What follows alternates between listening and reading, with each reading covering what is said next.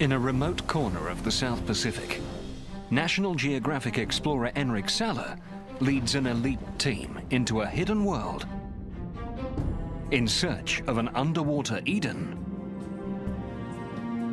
where humans rarely venture and sharks rule. This is amazing. You don't see this almost anywhere else in the world diving into unpredictable seas and untamed nature. In a daring exploration of a wilderness under the waves. What they find could hold the key to saving the world's oceans.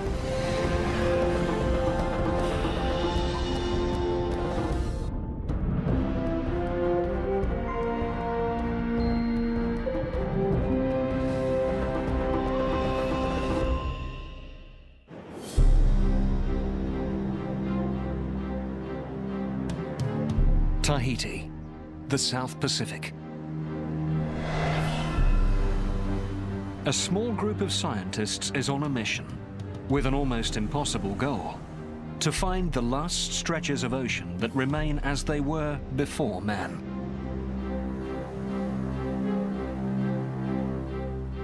Leading the expedition is Dr. Enric Sala, a National Geographic explorer and research scientist at Spain's National Council. What I'm doing to help protect the ocean is come to places like this, wild, pristine places, explore them, understand how they work, and raise awareness.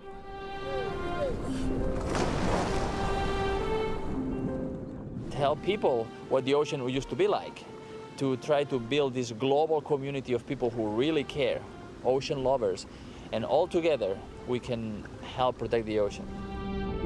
It's a challenge he's met before. He's helped create protected areas in the Sea of Cortez and the Caribbean.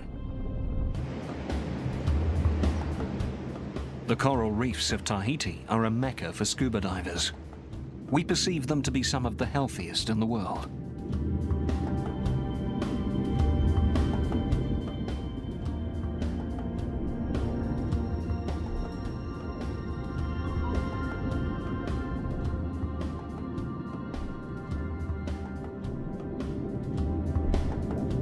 Life appears to flourish here. Thousands of fish feed on plankton and algae.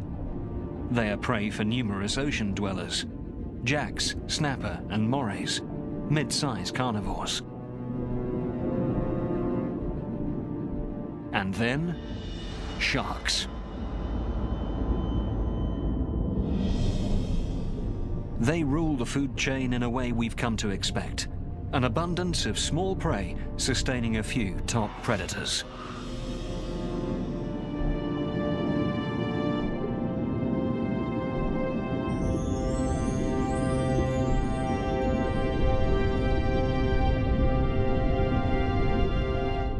But Enric can see that this paradise is in trouble.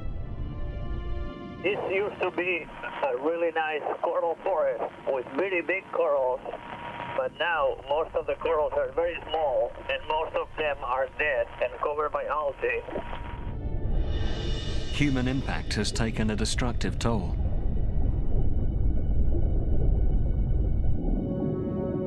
To Enric's surprise, the sharks here are small in size and few in number.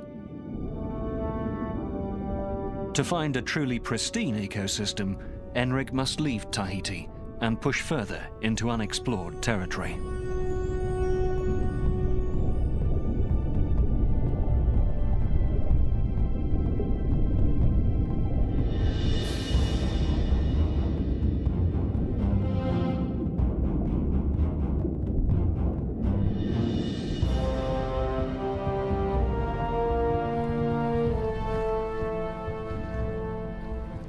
Hopes that each unique reef he explores will offer a different snapshot of a pristine ecosystem.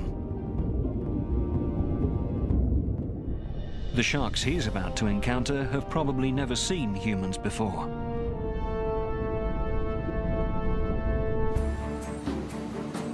In the port of Papeete, Tahiti, the quest begins. The research team boards a floating laboratory called the Hanse Explorer.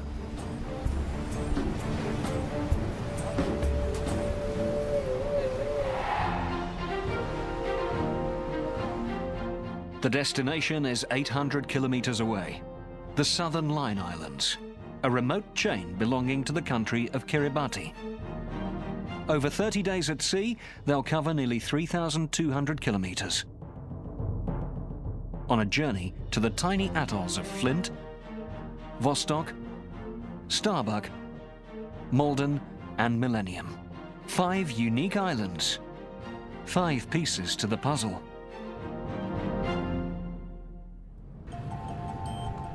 On board, the team preps for its mission.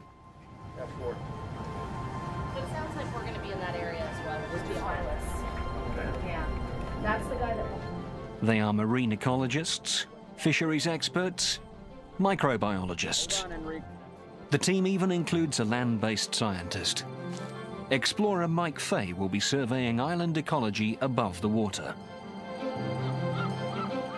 The team will explore these unique outposts of marine life. Then Enric will present the findings to the government of Kiribati and create a brand new protected area. 35 hours later, the ship arrives at Flint Island, four kilometers long and less than a kilometer wide. A tiny speck in the vast Pacific.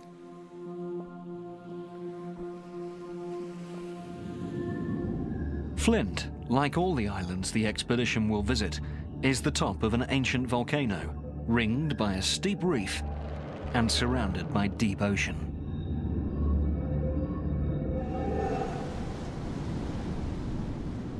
The reef here is so short, so the waves are breaking right there. So it's impossible to dive on the on the windward side. So we'll have to dive on this on this side here, protected from the from the waves, and we'll meet at lunchtime to see what's there. They'll dive at sites around the island, Start We start here, and this will be the reefs never fully explored. Concentrate on the driving. Let her load the boat. They will face a host of dangers. Diving here is not for the faint-hearted.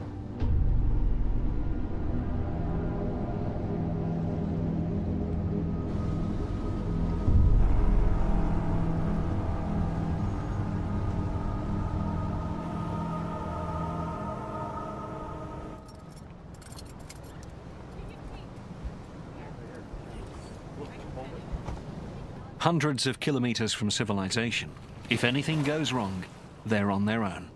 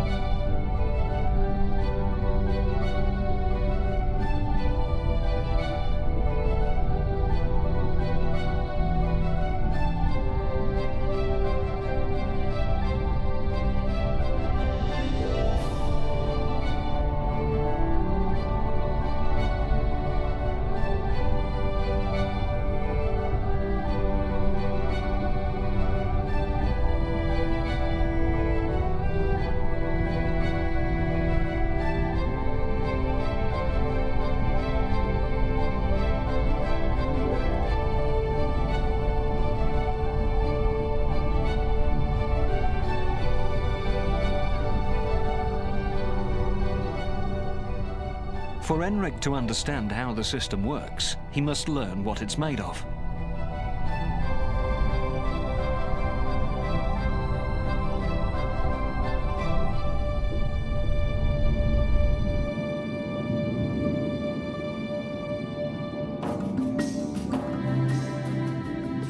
Biomass is the weight of each type of fish on the reef. The team already knows the average weight and size of each species, So by estimating their numbers, they can calculate how much each population weighs. Knowing the biomass of the different species gives Enric a picture of how the reef functions. What they find at Flint Island is a surprise.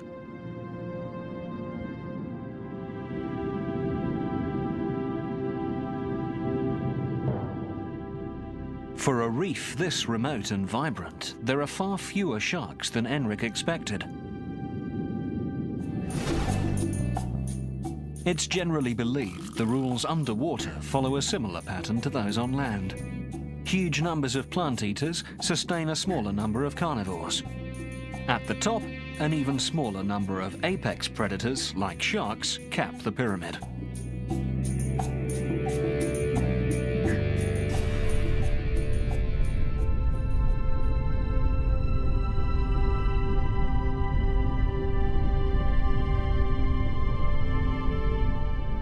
The absence of sharks is a clue that something may be wrong at Flint Island.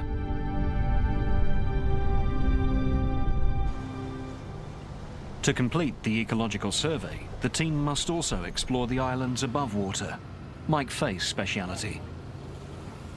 It's all good until the very last second. Mike is a conservationist and National Geographic Explorer in residence. He's been instrumental in establishing protected areas in Gabon, on the west coast of Africa. Yeah. yeah. Mike will go ashore, if he can make it. Looks like that's about the only place that doesn't have breakers right there. Mike may be the first visitor here in years. So I can, we can radio back. The only way for him to reach Flint Island is to swim through powerful waves and risk being ripped to shreds on the jagged reef.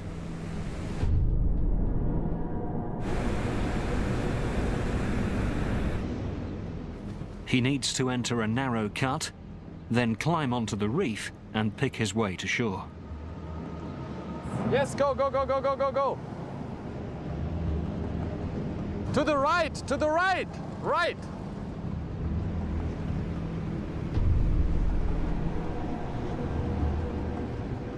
Breaking waves push him toward the reef. Undertow sucks him back.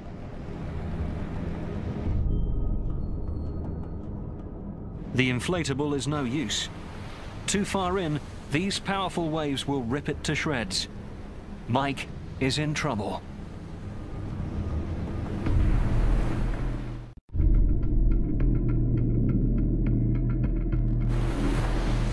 Caught between the heavy surf and a powerful undertow, Mike Fay is exhausted. Desperate, he waves for help. Go get him, go get him.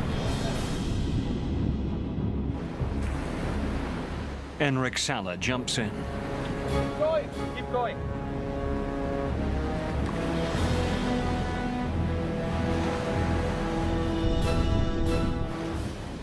But Mike's trapped in the surf zone. Enric can't reach him without putting himself in danger. Finally, there's a break in the waves, and they swim to safety. The mission to Flint Island will have to wait, for now.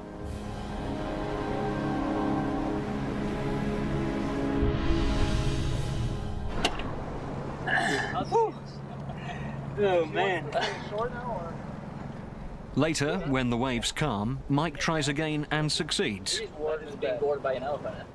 He finds an island shaped by man. In the 1870s, the native plants were stripped and tens of thousands of palm trees were planted to produce coconut oil. About 30 years later, the island was abandoned and left isolated by the pounding surf.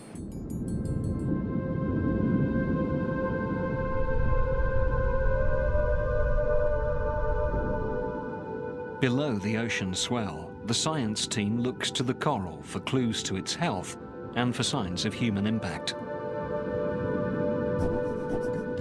Marine ecologist Jen Smith's goal is to determine just how much of the seafloor is alive. Coral and algae are the backbones of the reef and can be a barometer of the health of the ecosystem. Jen has documented coral all over the world, but nothing she's seen compares to Flint's Reef. Just spectacularly dominated by coral. I've never seen so much coral in my life. I can take 20 to 40 photographs of the bottom in a pretty big area in one dive. Jen finds that coral covers an astounding 90% of the bottom, over three times more than other reefs in the Indo-Pacific.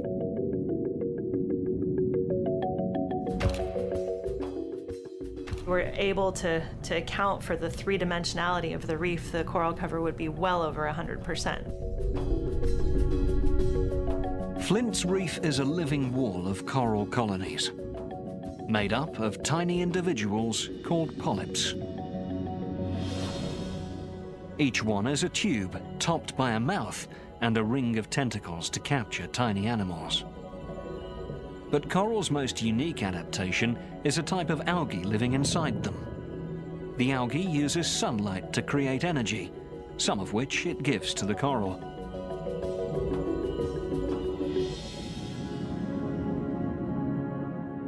It's this symbiotic algae that gives coral its color.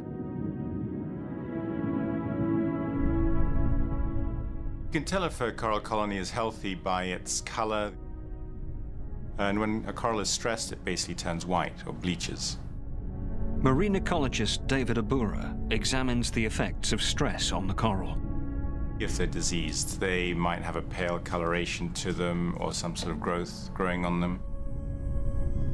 David predicts how coral resists stress from its surroundings, like an attack from the crown of thorns starfish, a voracious coral predator.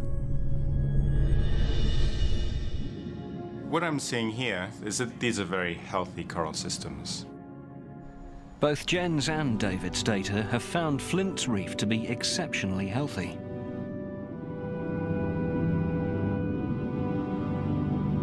Enric has found the missing piece of the puzzle. Sharks. Hunting just below the breaking waves ready to strike unsuspecting fish in the tumbling surf.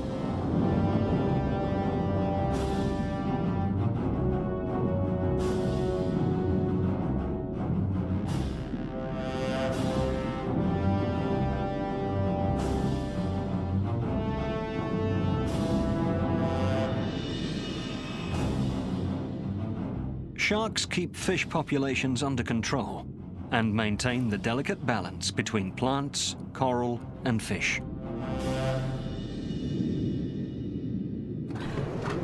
So I saw a couple of blacktip sharks, but they were not very abundant, eh? No, and they're quite small as well.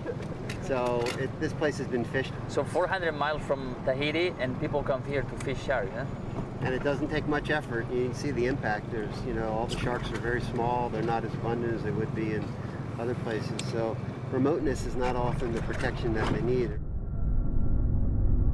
Flint's reef is robust, but the sharks Enric finds are small and few and far between. Fishing has clearly affected shark populations, even at this remote island sanctuary. So the team presses on in search of the perfect reef and more sharks. It's an overnight journey to an even more remote location, Vostok Island. And uh, the benthic is two dives in the morning. Correct. Yeah. And then in the afternoon, do whatever we do is just fantastic. So.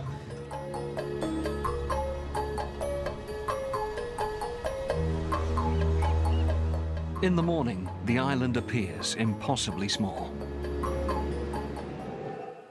First sighted in 1820 by a Russian explorer and named after his ship, Vostok is less than a quarter square kilometer of dry land in a vast ocean, unique because of its size. It is probably the most pristine island because it's so small it has never had human habitation and the forest is the native tree. There are no coconut trees on this island. This is the tropical forest as it should be. So here on this teeny speck of land, you have a pristine coral island in the South Pacific.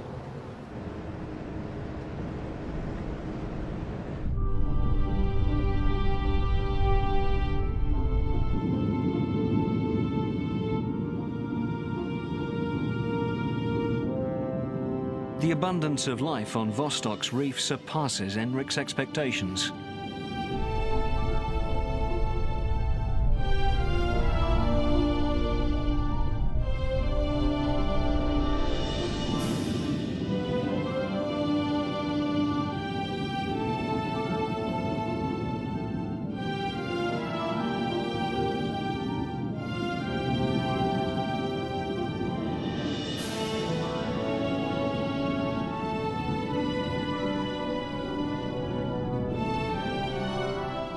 Nearly twice as many fish as at Flint, a larger island with a bigger reef.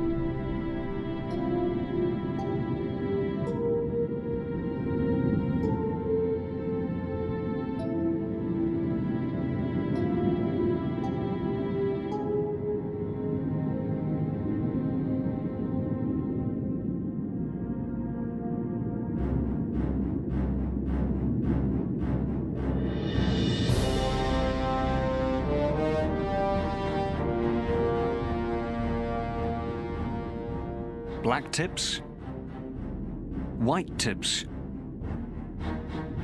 and grey reef sharks.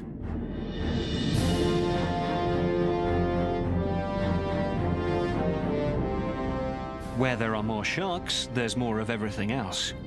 Carnivores, prey, even coral. Sharks are a clear sign that this system is healthy and undisturbed.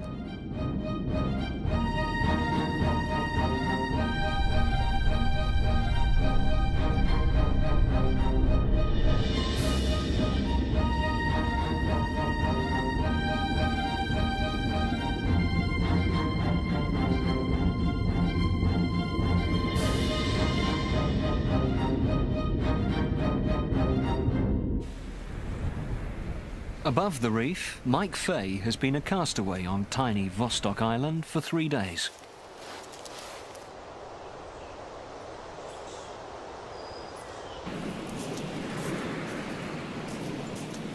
Enric Sala joins Mike Fay to see what he's discovered on the island. Hey, Mike. Hey, Mike Robinson Crusoe. Yeah. To understand the entire island ecosystem, the land must be studied as well after three days. You know every bird, you know every plant, you know every lizard. This is the most gorgeous small island I've ever seen in my oh, life. You wait till you see this forest. It's nuts. And the canopy is completely yeah. 100%, yeah. Absolutely.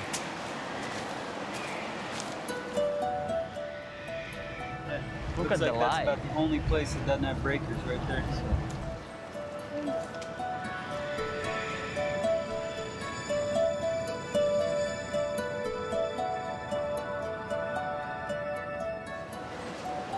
This is uh, Hotel Vostok over here. You didn't have any trouble with your neighbors, huh? No, well, the um, coconut crabs are really curious. See, there he is right there. Oh, yes, look at this. Wow. He's been around all three days. This is like being in the Galapagos when Darwin got there for the first time. Exactly. The animals don't know people. This is, this is paradise. They're just really curious. Unlike virtually every other South Pacific island, the forest ecosystem on Vostok is natural, despite the presence of an unusual and precious commodity. So here's just a pure mat of guano, and it kind of feels like... You can feel it. Yeah, it's like a soft wrestling mat or something like that. It's just pure, absolute rich. You. Guano, bird dung, excreted by millions of seabirds over centuries, rich in phosphates and nitrogen. Resource was used. In the mid 1800s, these islands were stripped of this black gold for fertilizer. Vostok's diminutive size protected it from guano mining. 200 years ago. This is what people destroy this island for. Yeah, really incredible.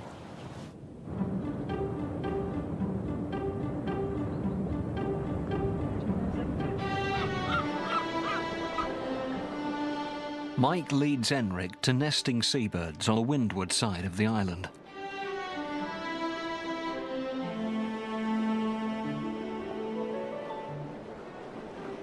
So I counted all the boobies out here.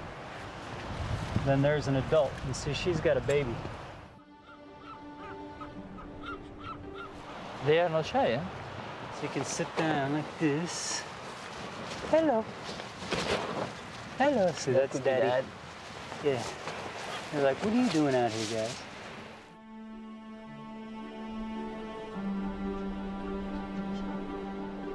Spared from human encroachment, the birds have no reason to fear people.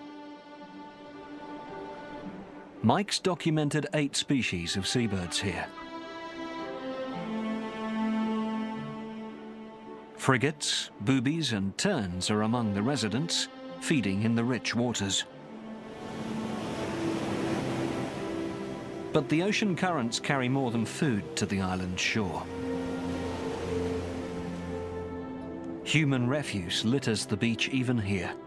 Evidence of modern life on an island virtually unchanged for hundreds of years.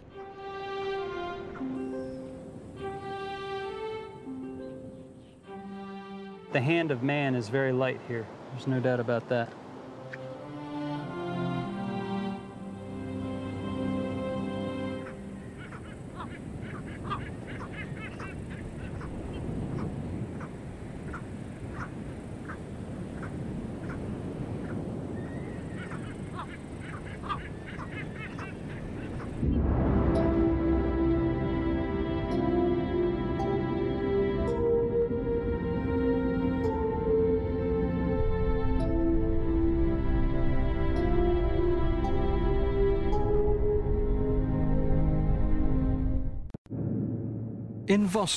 The team gets its first snapshot of a pristine island.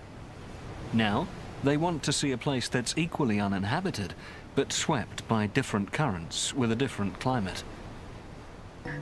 The ship heads northwest, 36 hours and nearly 595 kilometers to Starbuck Island. Starbuck is over 8 kilometers long and 3 kilometers at its widest marked by a handful of palm trees.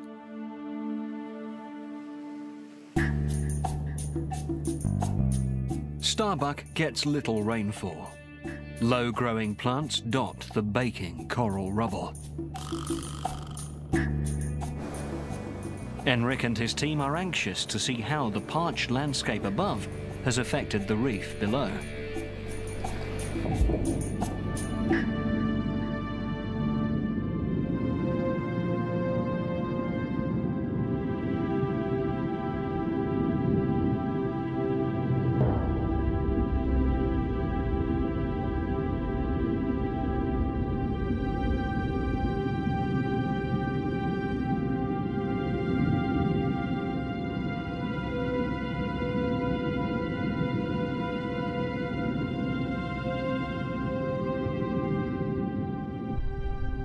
Only a few hundred kilometers from some of the richest coral any of them has seen is another thriving reef.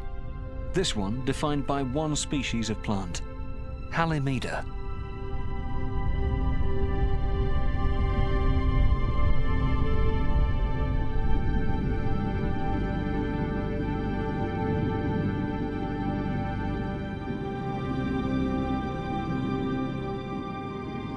Where the plant is dying off, its limestone skeleton becomes the sand of the reefs and beaches.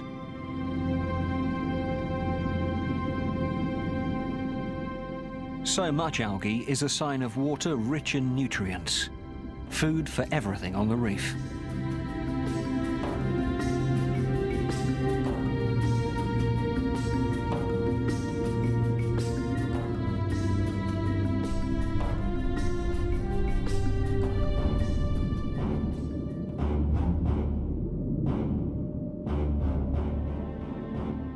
Result is an explosion of life, from the plants to the sharks.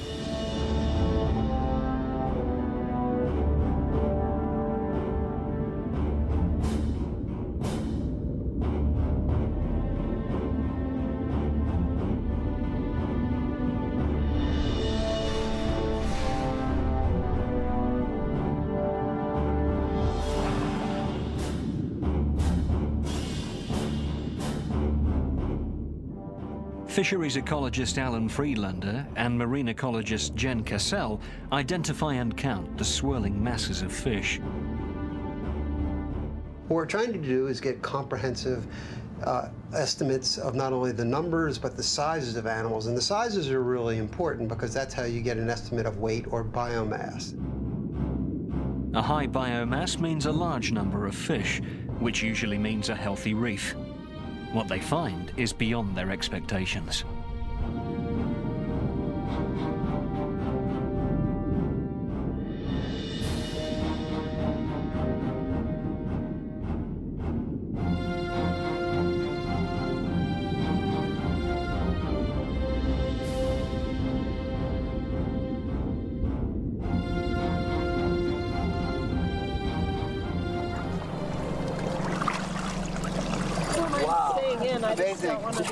There were so many fish. like 150 species. It was crazy. They've discovered that Starbuck has the second largest biomass of all studied coral reefs.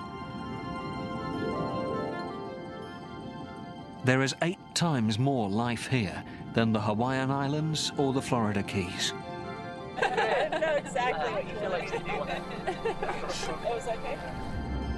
Even more surprisingly, Enric sees a different picture of the reef emerging. Pound for pound, there are more predators here than prey.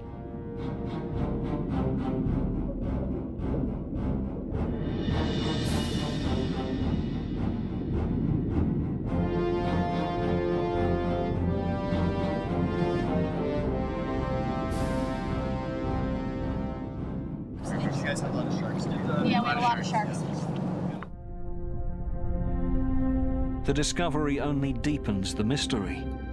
Enric wonders how it's possible for a stable ecosystem to have so many predators.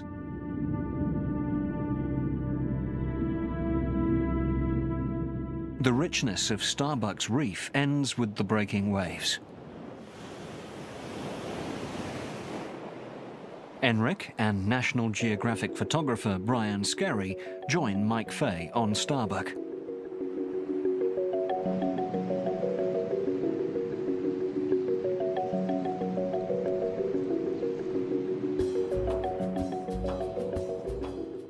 Mike's been here for three days, exploring the island's legacy. In 1872, more than 100 guano miners laboured here.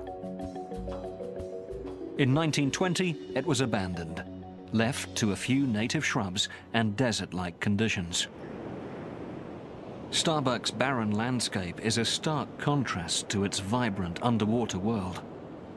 The crew wonders what its next stop will reveal, an even larger atoll. It's a 200 kilometre overnight run northeast to Malden Island. Roughly triangular, nearly 39 square kilometres, this is the largest island the crew will visit. Malden is covered in low grasses and shrubs. It was mined for guano between the 1850s and the 1920s. In 1958, Malden was the test site of three low-altitude nuclear bombs.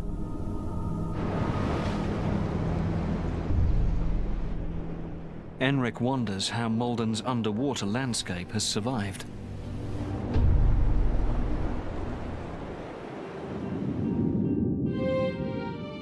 They find a reef teeming with life.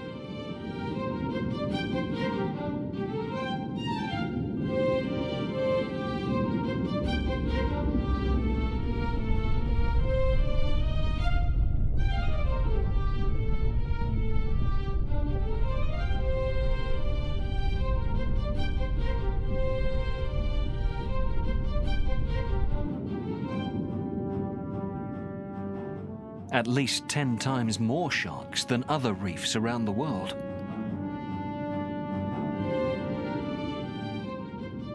And more parrotfish, grazers that transform the reef.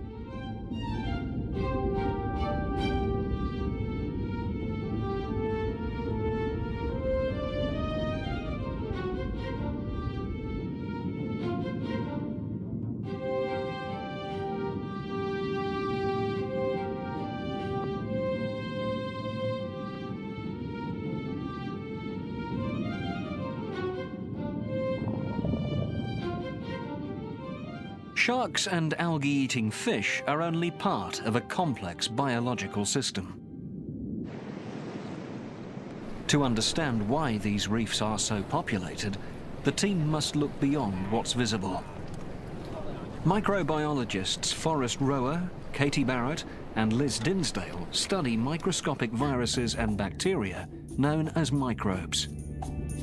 Thousands of different microbes can live on coral. By taking water samples, the scientists hope to determine what's living on this reef. As in our own digestive system, bacteria help maintain a healthy balance. But harmful microbes can sometimes turn deadly. The team is trying to learn why sudden changes can spur this bad bacteria to grow and kill the coral and why, once a reef is damaged, this killer bacterium grows even faster. And we don't really know where this increase in uh, bacterial communities are coming from. So we're wondering if corals and algae on the reef are actually producing chemicals which increase the bacteria. Liz Dinsdale places microbe samples in tanks with coral or algae. We can identify which organism actually enhance the growth of the bacteria in the environment. Flourishing reefs keep bad microbes in check.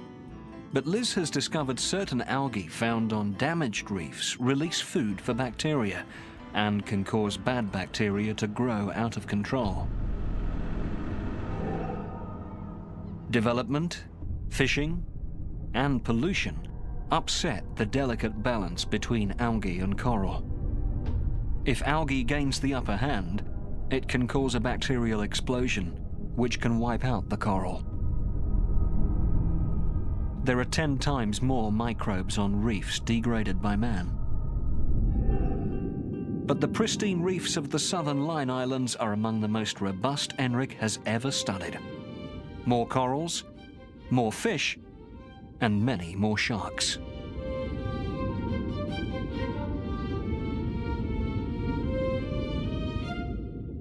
It's an entirely new picture of the biomass pyramid of a finely tuned reef.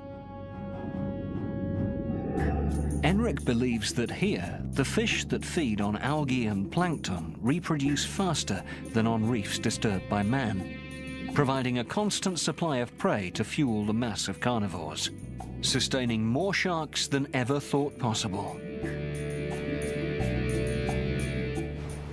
800 kilometers away, ENRIC hopes to find a similar model and prove the new discovery. Millennium Atoll is a lagoon surrounded by a string of islands. A very different landscape from the islands the expedition has visited so far.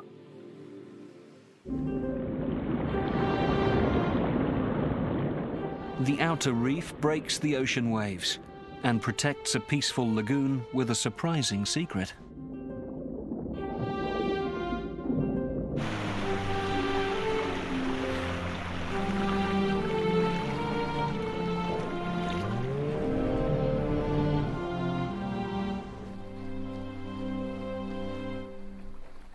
Inside Millennium's lagoon, ENRIC Sala makes an unexpected discovery.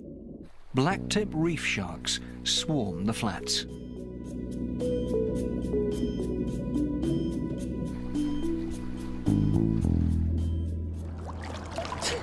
You know, how many sharks are there here? Maybe 50? You know, this is amazing.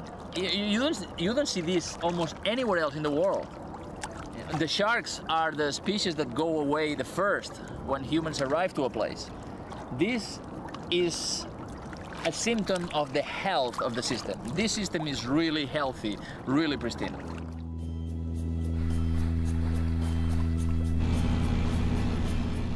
Inside the lagoon, an obstacle course of reefs and pinnacles is nearly impassable by boat.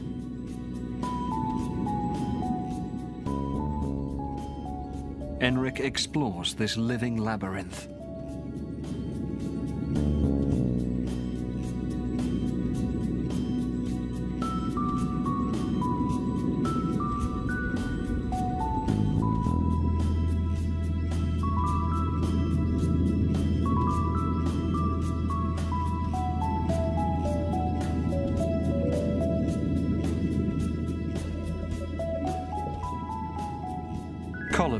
From the depths, decorated with impossibly delicate shapes, home to countless small fish.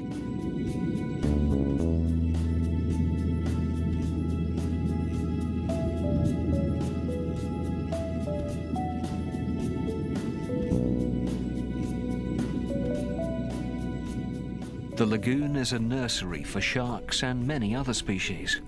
A unique underwater landscape undamaged by the human footprint. Hey, Shipwrecked again because of you. Man, this is the most gorgeous campsite. Yeah, it's sweet.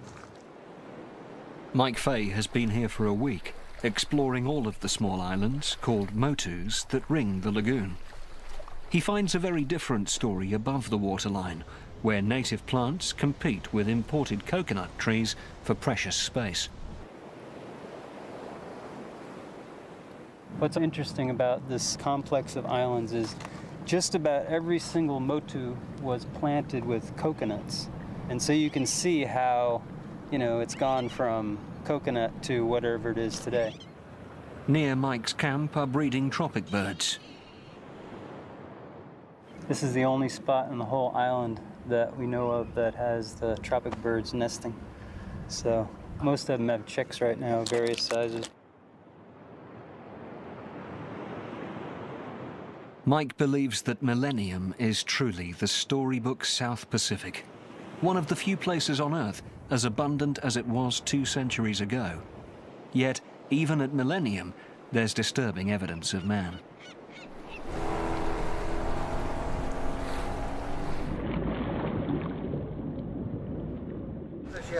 Hey! These are the hooks that uh, I found this morning at Millennium. Enric believes that fishing is the greatest threat to this finely balanced system. Definitely need to do something about this and, and prevent the destruction of, of the reefs. Yeah? The southern Line Islands may be on the verge of exploitation, but it's not too late. There's still time to protect this pristine ecosystem.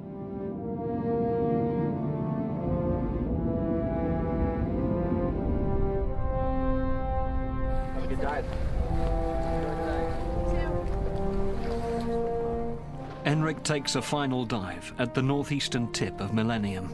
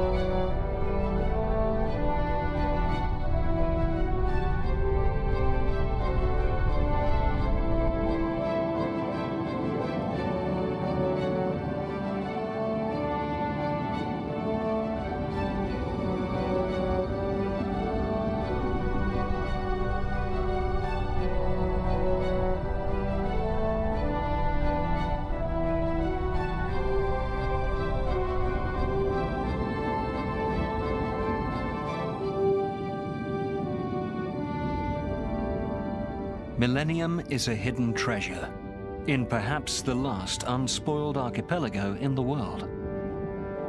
Enric has found his Eden, a place where coral reefs look like they did hundreds of years ago, ruled by predators.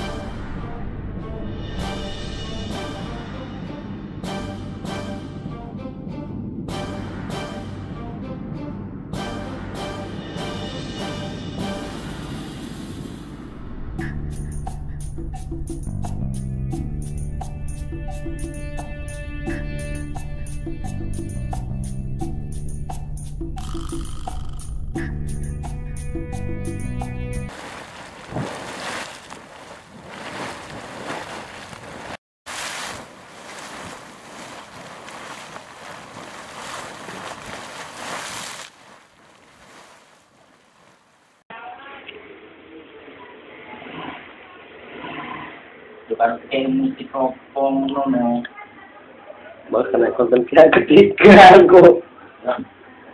Biar ada musik yo yo. Tinggal ngomongin musik.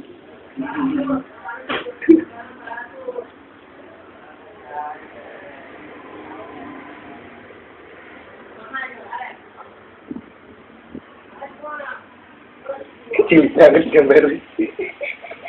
Kecil banget itu dia yang mahal lagi paling mahal lagi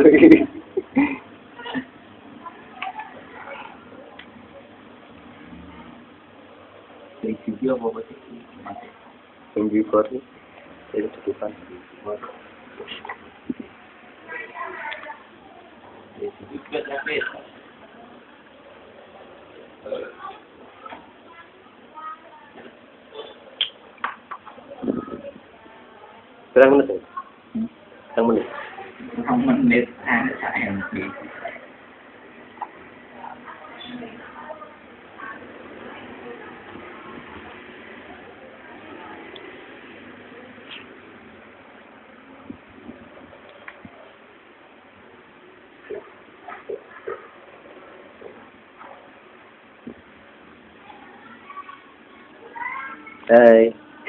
Hai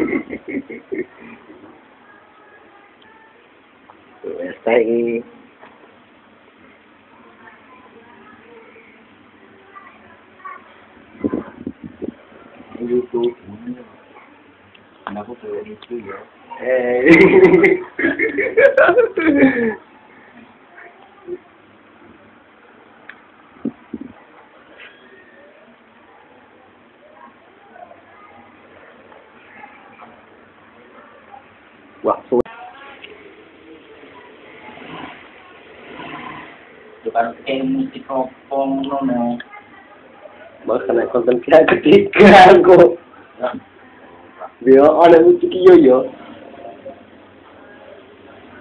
di ngomongin musik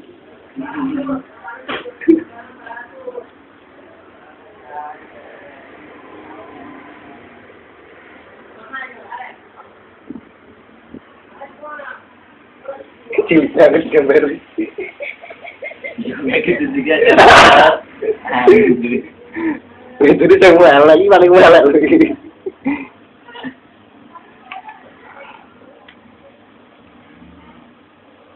Review apa apa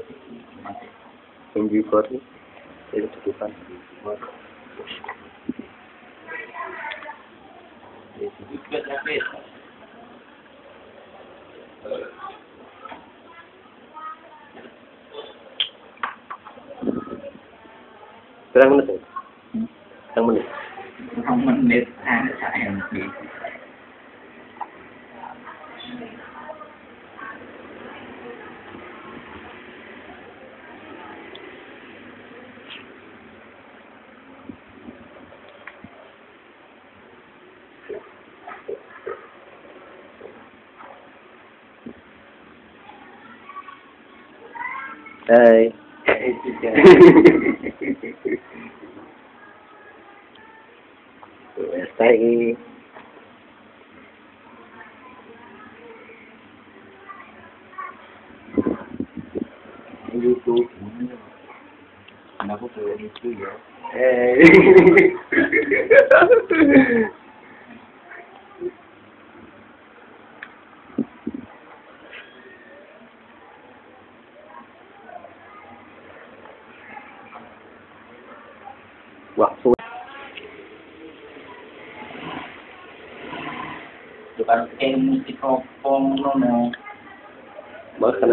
yang ketiga aku dia ana musik yo yo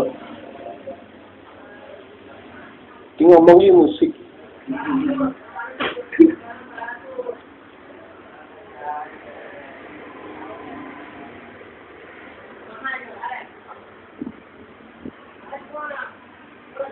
Tidak, tidak, tidak, tidak, tidak, tidak, tidak, tidak, tidak, tidak, Itu dia semua lagi paling mahal lagi.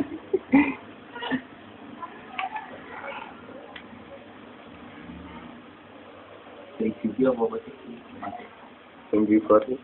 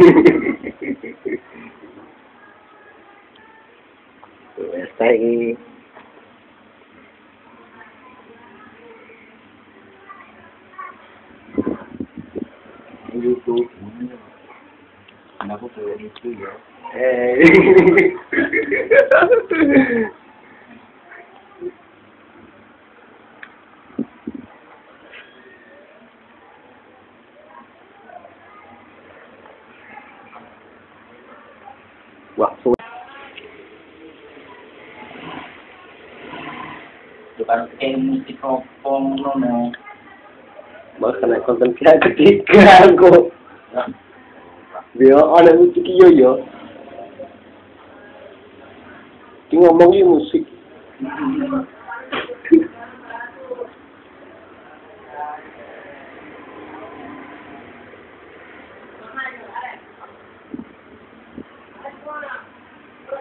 Sí, a ver qué gitu juga. Ah, Itu dia semua lagi paling mahal lagi.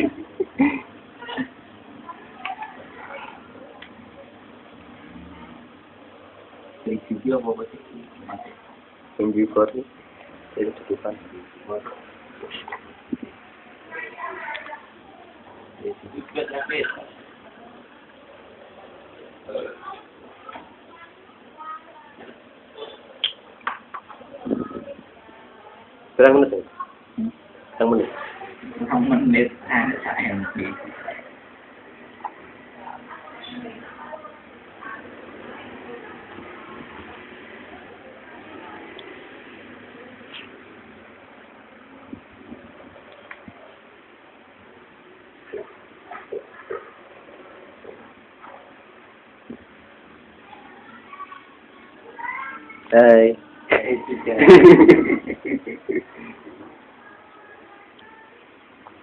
tay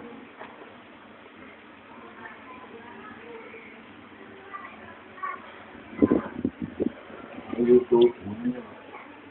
Nó có thể đi chơi vậy.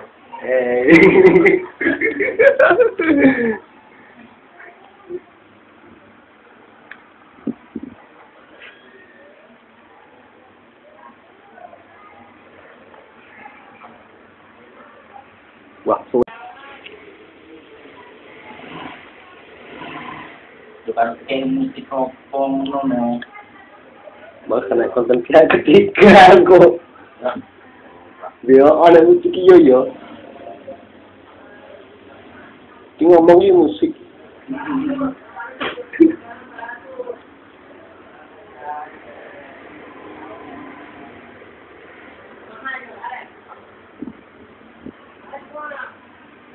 Kecil, saya harus gambar.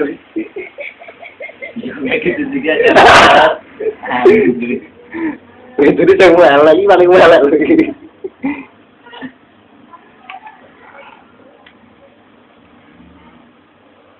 Dari video apa sih? Yang di ini itu tutupan. Dari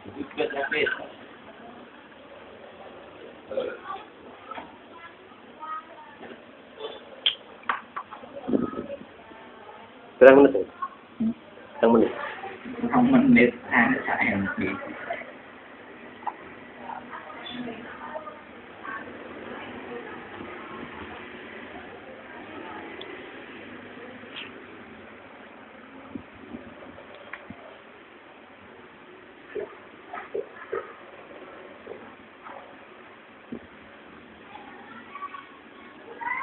Hi.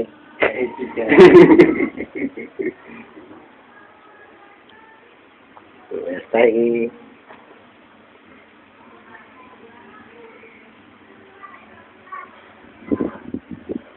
YouTube. Anak aku tuh ini tuh ya. Eh.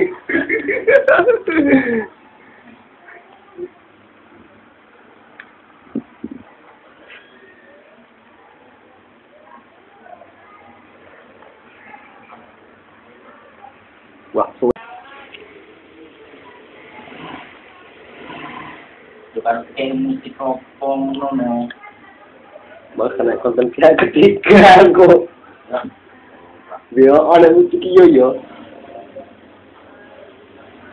di ngomongi musik.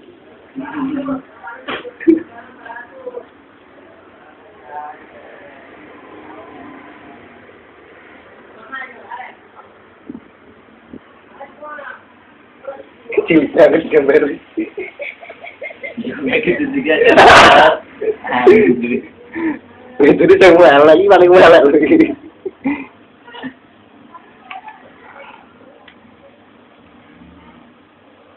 Yang judi apa apa sih? Yang judi Yang tutupan Yang judi apa ya?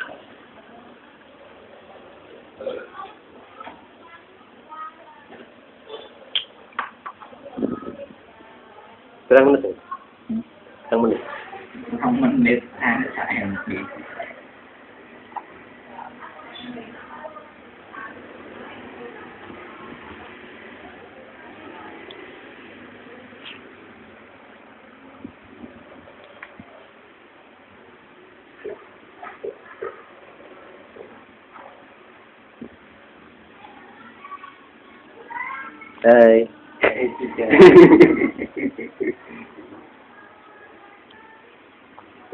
Stay.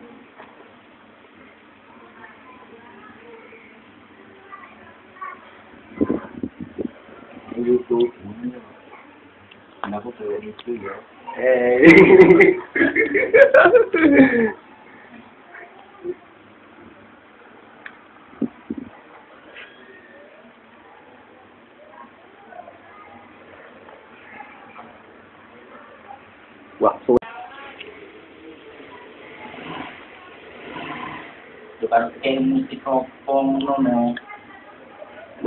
nonton pihak ketiga aku. Dia ada musik. Yo yo ini ngomongin musik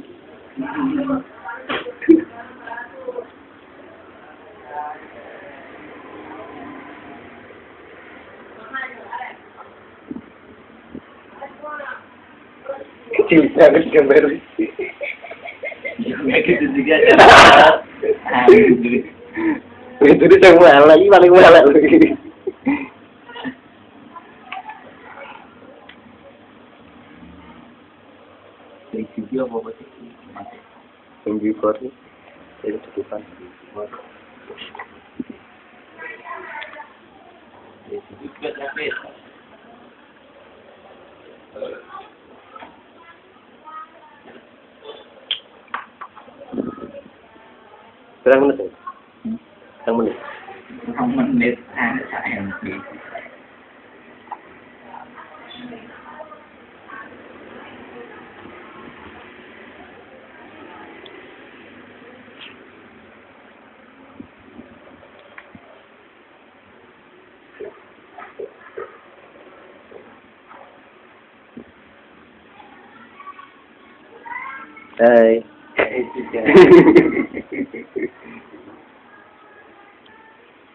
Wes lagi.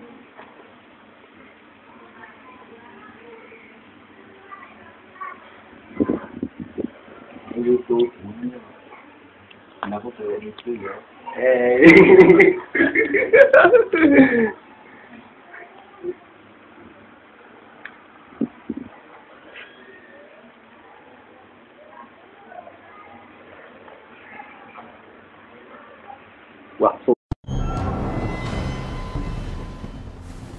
remote corner of the South Pacific, National Geographic explorer Enric Sala leads an elite team into a hidden world in search of an underwater Eden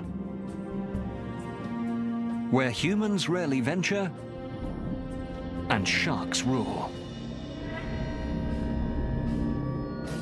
This is amazing. You don't see this almost anywhere else in the world. Diving into unpredictable seas and untamed nature. In a daring exploration of a wilderness under the waves. What they find could hold the key to saving the world's oceans.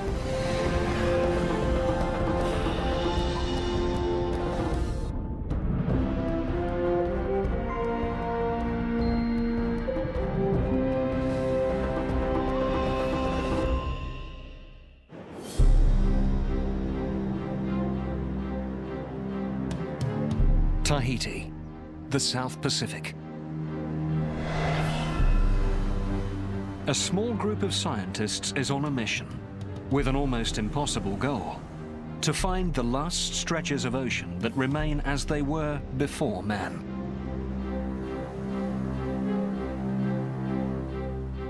Leading the expedition is Dr. Enric Sala, a National Geographic explorer and research scientist at Spain's National Council. What I'm doing to help protect the ocean is come to places like this, wild, pristine places, explore them, understand how they work, and raise awareness.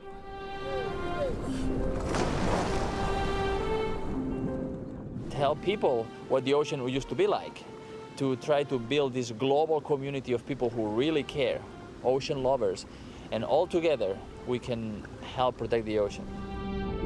It's a challenge he's met before. He's helped create protected areas in the Sea of Cortez and the Caribbean. The coral reefs of Tahiti are a mecca for scuba divers. We perceive them to be some of the healthiest in the world.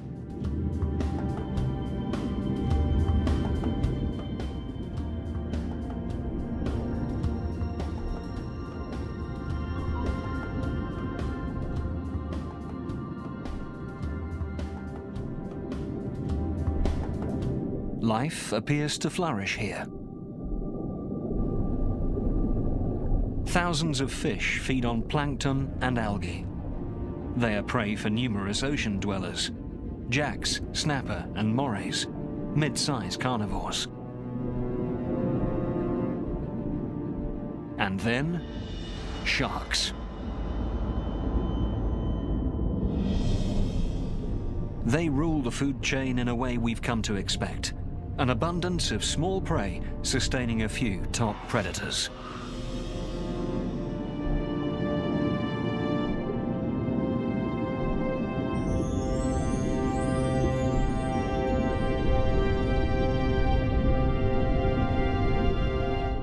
But Enric can see that this paradise is in trouble. This used to be a really nice coral forest with really big corals, but now most of the corals are very small and most of them are dead and covered by algae. Human impact has taken a destructive toll.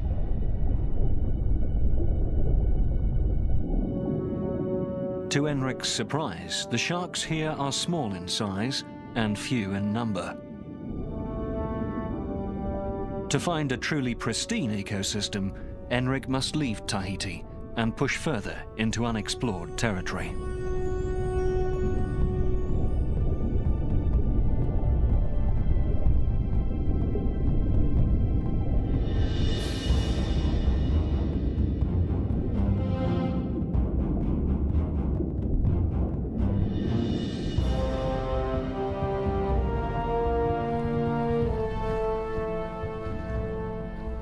He hopes that each unique reef he explores will offer a different snapshot of a pristine ecosystem. The sharks he's about to encounter have probably never seen humans before.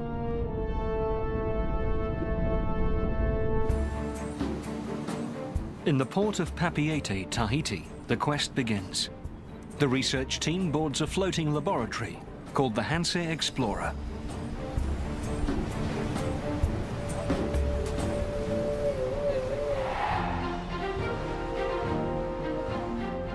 The destination is 800 kilometers away, the Southern Line Islands, a remote chain belonging to the country of Kiribati. Over 30 days at sea, they'll cover nearly 3,200 kilometers. On a journey to the tiny atolls of Flint, Vostok, Starbuck, Malden, and Millennium. Five unique islands. Five pieces to the puzzle.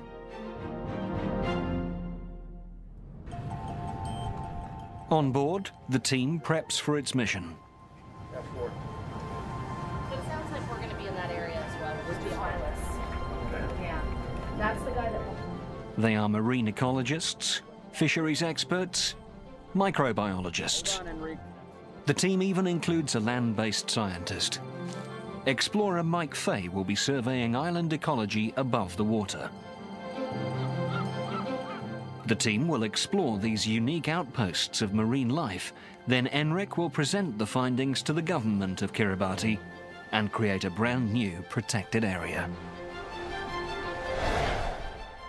35 hours later, the ship arrives at Flint Island, four kilometers long and less than a kilometer wide. A tiny speck in the vast Pacific.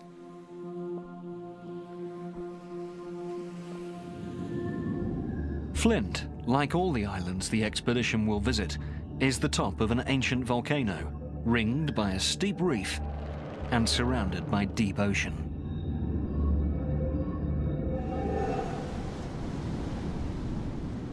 The reef here is so short, so the waves are breaking right there.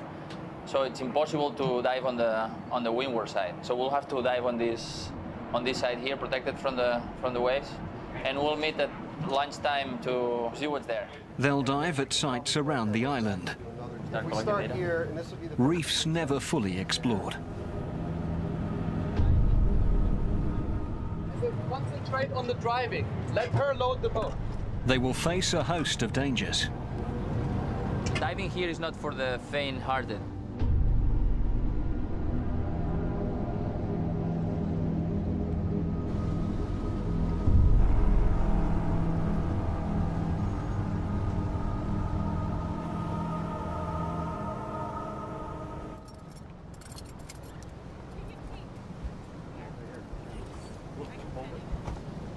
Hundreds of kilometers from civilization.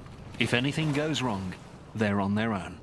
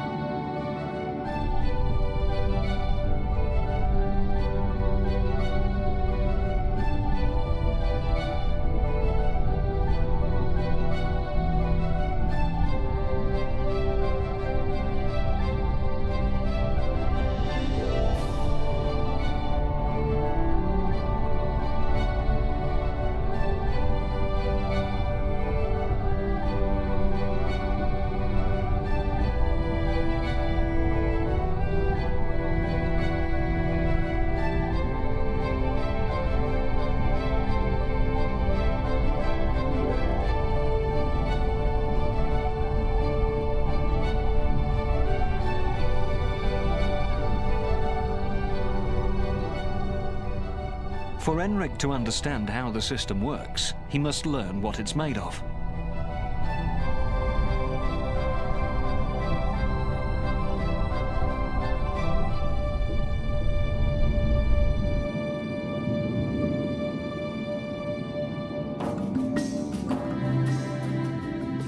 Biomass is the weight of each type of fish on the reef. The team already knows the average weight and size of each species, so by estimating their numbers, they can calculate how much each population weighs. Knowing the biomass of the different species gives Enric a picture of how the reef functions. What they find at Flint Island is a surprise.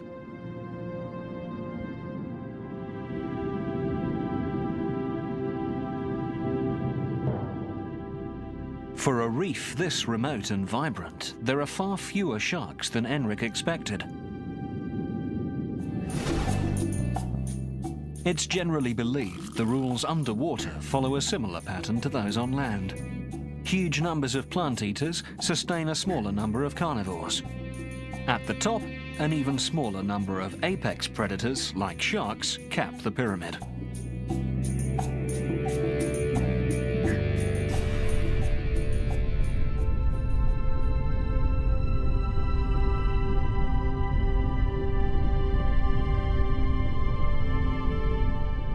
The absence of sharks is a clue that something may be wrong at Flint Island.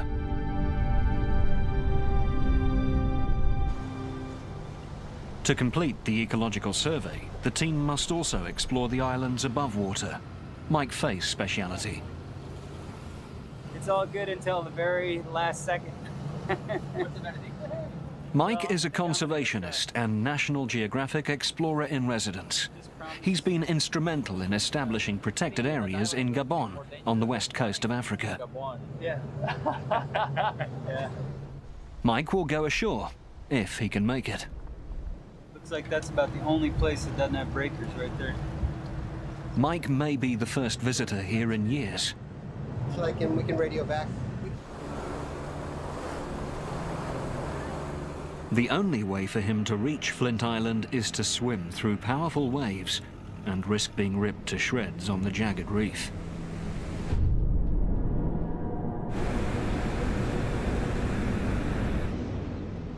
He needs to enter a narrow cut, then climb onto the reef and pick his way to shore. Yes, go, go, go, go, go, go, go. To the right, to the right, right.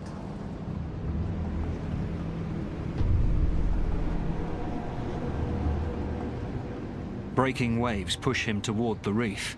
Undertow sucks him back.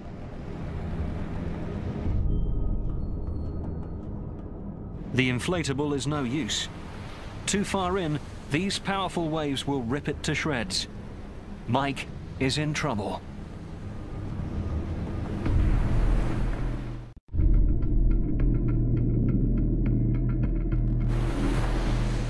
Caught between the heavy surf and a powerful undertow, Mike Fay is exhausted.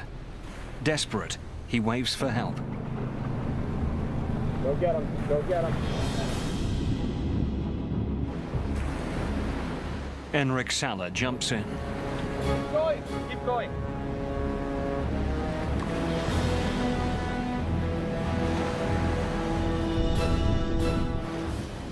But Mike's trapped in the surf zone. Enric can't reach him without putting himself in danger. Finally, there's a break in the waves, and they swim to safety. The mission to Flint Island will have to wait, for now.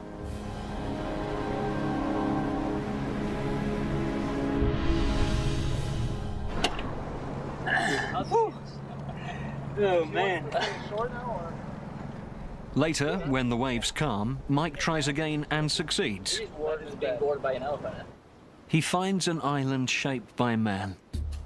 In the 1870s, the native plants were stripped and tens of thousands of palm trees were planted to produce coconut oil. About 30 years later, the island was abandoned and left isolated by the pounding surf.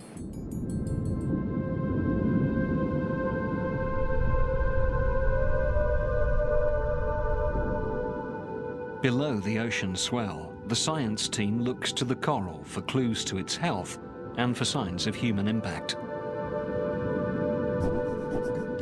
Marine ecologist Jen Smith's goal is to determine just how much of the seafloor is alive. Coral and algae are the backbones of the reef and can be a barometer of the health of the ecosystem. Jen has documented coral all over the world, but nothing she's seen compares to Flint's Reef. Just spectacularly dominated by coral. I've never seen so much coral in my life. I can take 20 to 40 photographs of the bottom in a pretty big area in one dive. Jen finds that coral covers an astounding 90% of the bottom, over three times more than other reefs in the Indo-Pacific.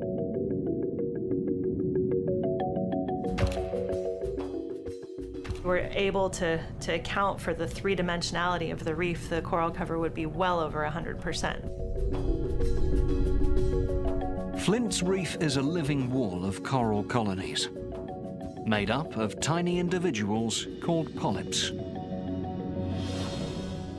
Each one is a tube topped by a mouth and a ring of tentacles to capture tiny animals.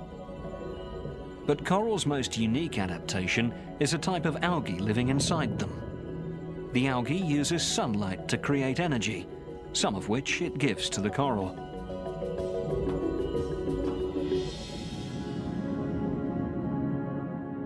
It's this symbiotic algae that gives coral its color. You can tell if a coral colony is healthy by its color. And when a coral is stressed, it basically turns white or bleaches. Marine ecologist David Obura examines the effects of stress on the coral. If they're diseased, they might have a pale coloration to them or some sort of growth growing on them. David predicts how coral resists stress from its surroundings, like an attack from the crown of thorns starfish, a voracious coral predator. What I'm seeing here is that these are very healthy coral systems. Both Jen's and David's data have found Flint's Reef to be exceptionally healthy.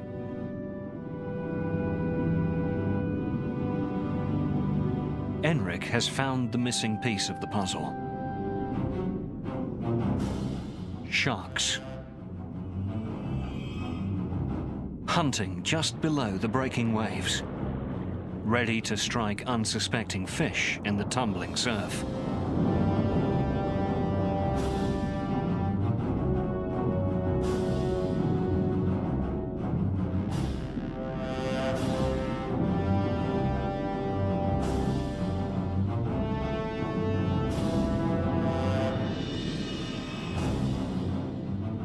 Sharks keep fish populations under control and maintain the delicate balance between plants, coral, and fish.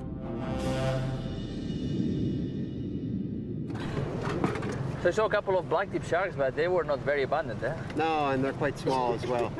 So it, this place has been fished. So 400 miles from Tahiti, and people come here to fish sharks, huh? And it doesn't take much effort. You can see the impact. There's, you know, all the sharks are very small. They're not as abundant as they would be in other places. So remoteness is not often the protection that they need. Flint's reef is robust, but the sharks Enric finds are small and few and far between. Fishing has clearly affected shark populations, even at this remote island sanctuary. So the team presses on in search of the perfect reef and more sharks. It's an overnight journey to an even more remote location, Vostok Island. And uh, Benthic is two dives in the morning. Correct. Yeah. And then in the afternoon, do whatever we do is just fantastic. So.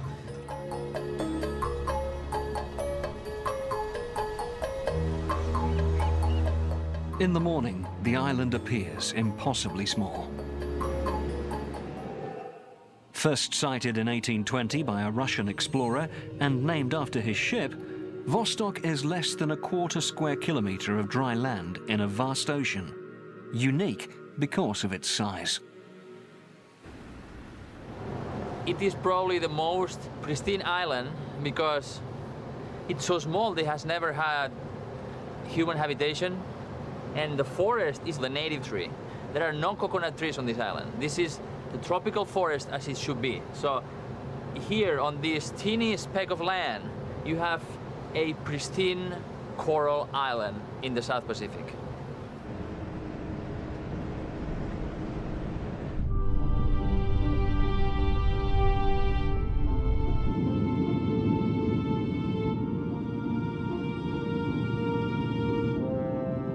The abundance of life on Vostok's reef surpasses Enric's expectations.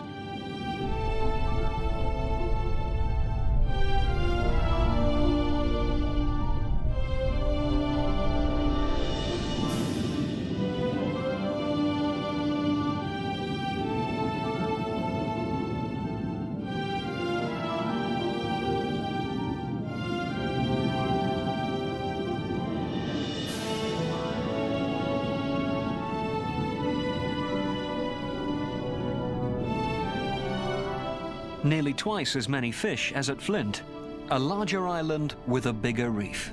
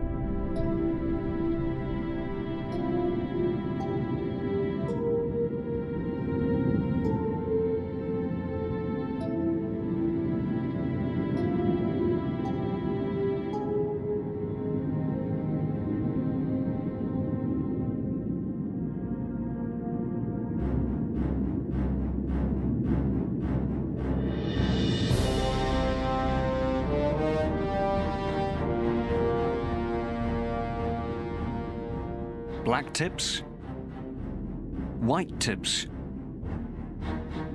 and grey reef sharks.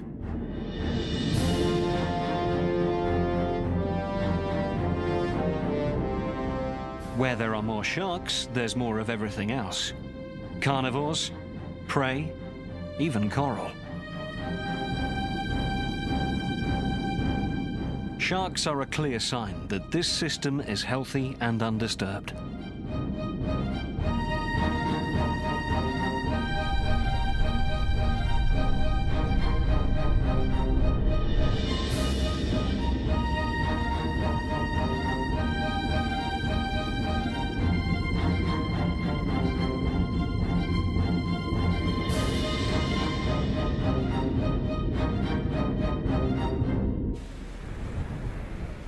Above the reef, Mike Fay has been a castaway on tiny Vostok Island for three days.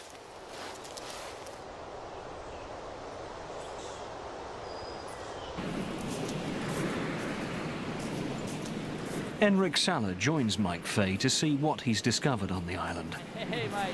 Hey, Mike Robinson Crusoe. Yeah. To understand the entire island ecosystem, the land must be studied as well. After three days, you know every bird, you know every plant, you know every lizard. This is the most gorgeous small island I've ever seen in my oh, life. You wait till you see this forest. It's nuts. And the canopy is completely yeah. 100%, yeah.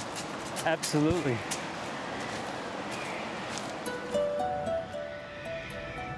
Look Looks at like the that's about the only place that doesn't have breakers right there. So.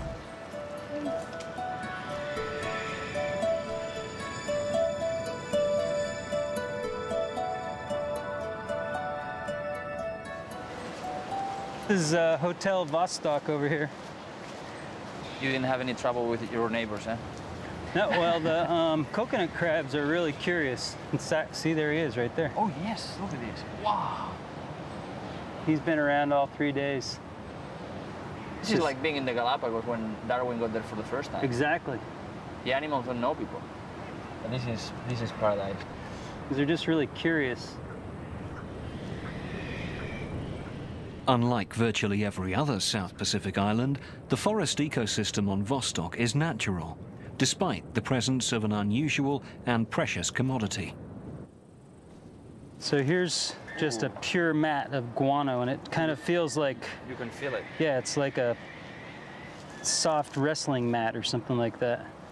It's just pure, absolute, rich. You make gunpowder. Guano, bird dung, excreted by millions of seabirds over centuries, rich in phosphates and nitrogen. Resource was used. In the mid 1800s, these islands were stripped of this black gold for fertilizer.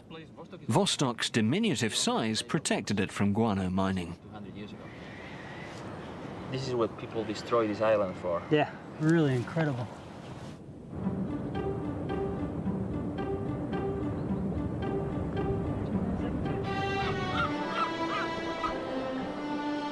Mike leads Enric to nesting seabirds on the windward side of the island.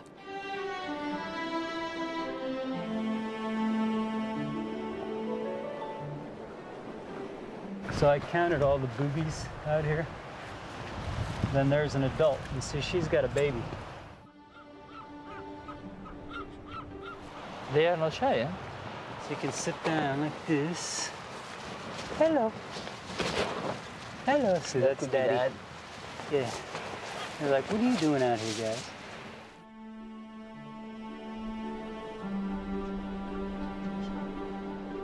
Spared from human encroachment, the birds have no reason to fear people.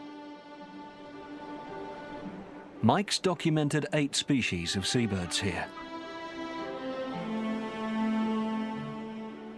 Frigates, boobies and terns are among the residents, feeding in the rich waters. But the ocean currents carry more than food to the island's shore. Human refuse litters the beach even here. Evidence of modern life on an island virtually unchanged for hundreds of years.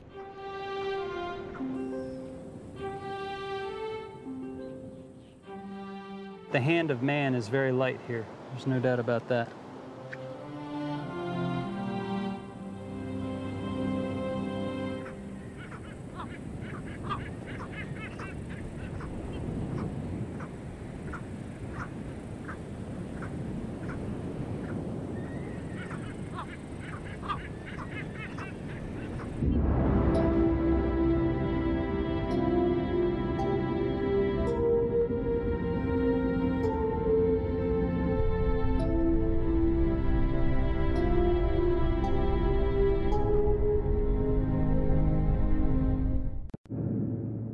Vostok, the team gets its first snapshot of a pristine island. Now, they want to see a place that's equally uninhabited, but swept by different currents with a different climate. The ship heads northwest, 36 hours and nearly 595 kilometers to Starbuck Island. Starbuck is over 8 kilometers long and 3 kilometers at its widest marked by a handful of palm trees.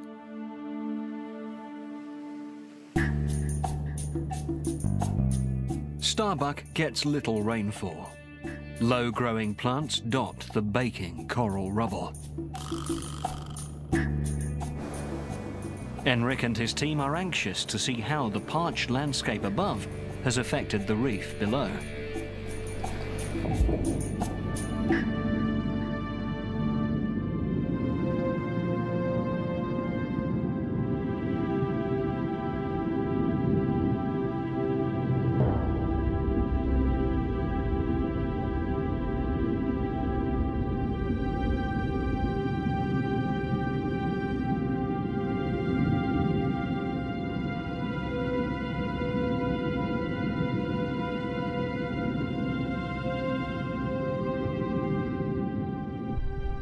Only a few hundred kilometers from some of the richest coral any of them has seen is another thriving reef.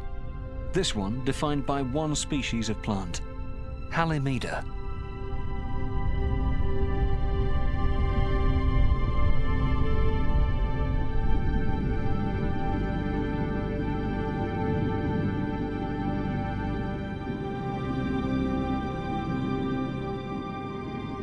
Where the plant is dying off, its limestone skeleton becomes the sand of the reefs and beaches.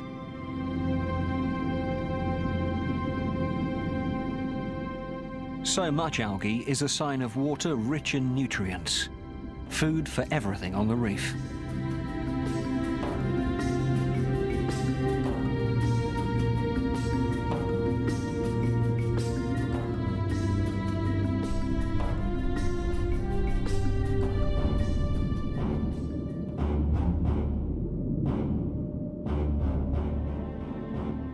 Result is an explosion of life, from the plants to the sharks.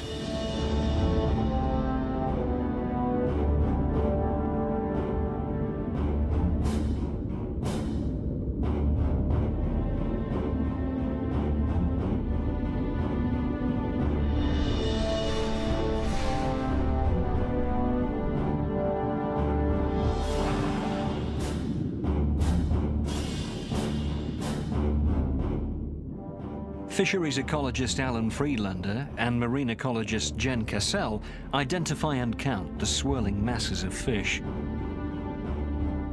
What we're trying to do is get comprehensive uh, estimates of not only the numbers but the sizes of animals. And the sizes are really important because that's how you get an estimate of weight or biomass. A high biomass means a large number of fish, which usually means a healthy reef. What they find is beyond their expectations.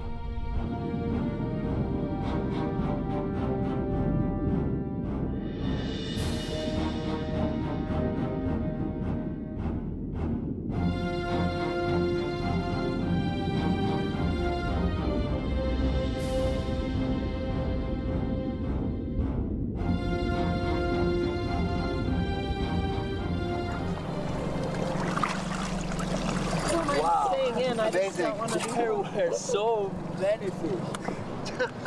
Yeah, like 150 species. It was crazy. They've discovered that Starbuck has the second largest biomass of all studied coral reefs. There is eight times more life here than the Hawaiian Islands or the Florida Keys. Know exactly what you to do. was okay. Even more surprisingly, Enric sees a different picture of the reef emerging.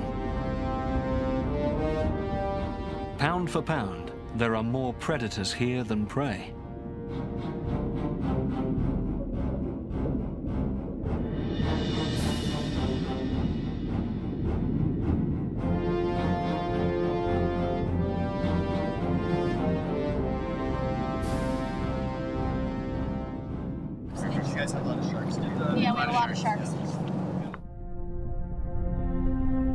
Discovery only deepens the mystery. Enric wonders how it's possible for a stable ecosystem to have so many predators.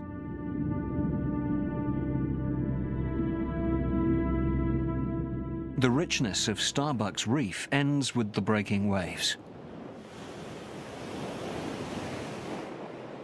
Enric and National Geographic photographer Brian Skerry join Mike Fay on Starbuck.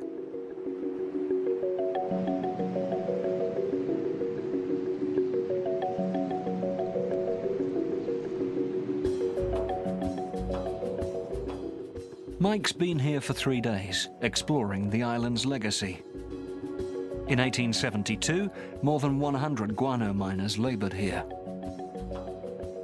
In 1920, it was abandoned, left to a few native shrubs and desert-like conditions. Starbuck's barren landscape is a stark contrast to its vibrant underwater world. The crew wonders what its next stop will reveal, an even larger atoll. It's a 200 kilometre overnight run northeast to Malden Island. Roughly triangular, nearly 39 square kilometres, this is the largest island the crew will visit.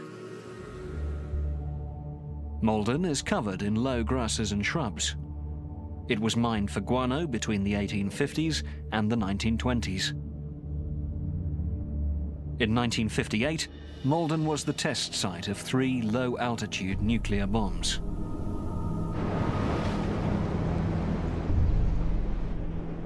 Enric wonders how Malden's underwater landscape has survived.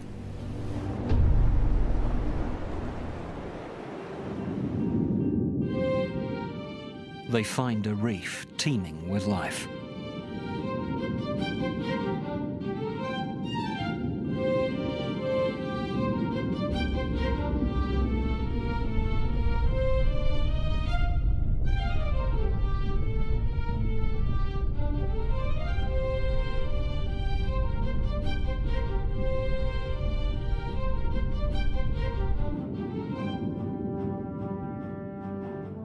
Least 10 times more sharks than other reefs around the world.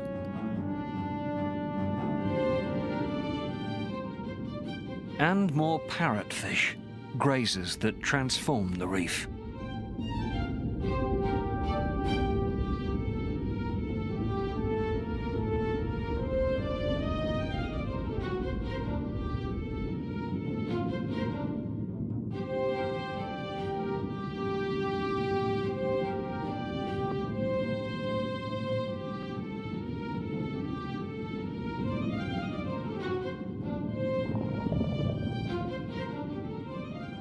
Sharks and algae-eating fish are only part of a complex biological system.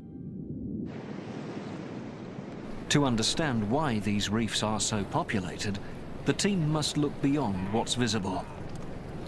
Microbiologists Forest Rohwer, Katie Barott and Liz Dinsdale study microscopic viruses and bacteria known as microbes. Thousands of different microbes can live on coral.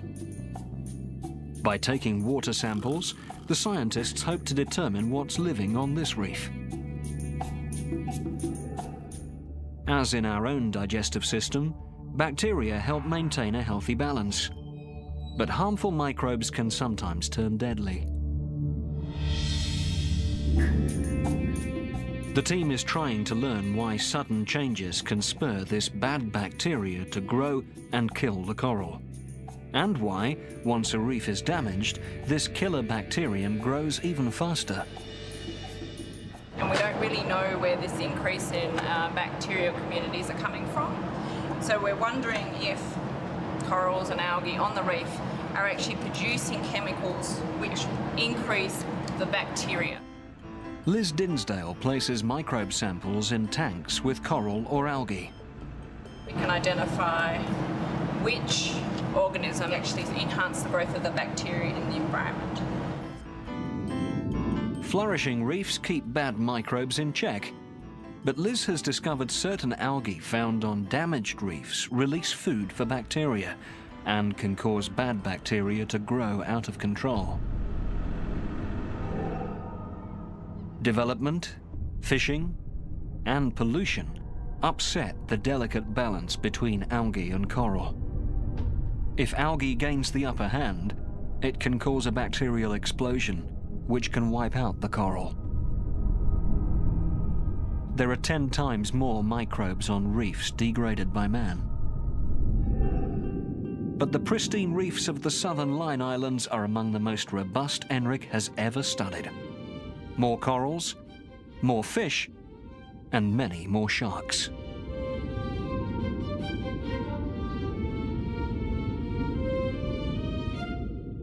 It's an entirely new picture of the biomass pyramid of a finely tuned reef. ENRIC believes that here, the fish that feed on algae and plankton reproduce faster than on reefs disturbed by man, providing a constant supply of prey to fuel the mass of carnivores, sustaining more sharks than ever thought possible. 800 kilometers away, ENRIC hopes to find a similar model and prove the new discovery. Millennium Atoll is a lagoon surrounded by a string of islands. A very different landscape from the islands the expedition has visited so far.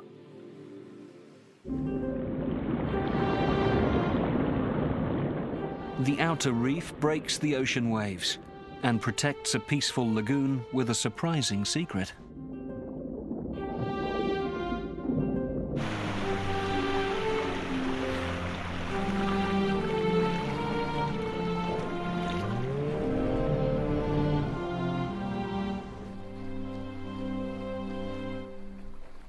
Inside Millennium's lagoon, Enric Sala makes an unexpected discovery.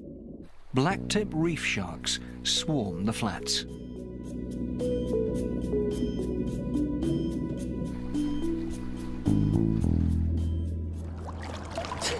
You know, how many sharks are there here? Maybe 50? You know, this is amazing.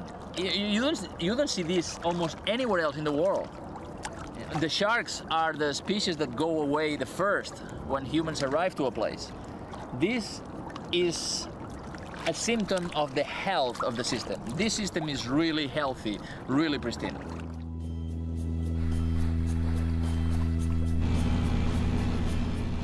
Inside the lagoon, an obstacle course of reefs and pinnacles is marine ecologist David Obura examines the effects of stress on the coral. If they're diseased, they might have a pale coloration to them or some sort of growth growing on them. David predicts how coral resists stress from its surroundings, like an attack from the crown of thorns starfish, a voracious coral predator. What I'm seeing here is that these are very healthy coral systems. Both Jens and David's data have found Flint's Reef to be exceptionally healthy.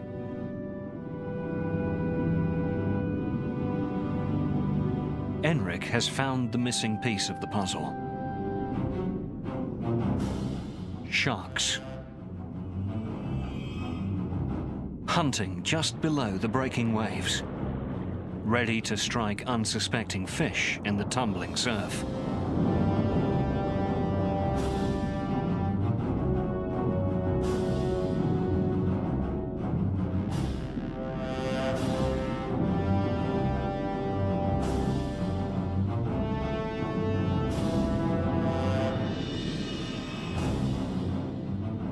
Sharks keep fish populations under control and maintain the delicate balance between plants, coral and fish.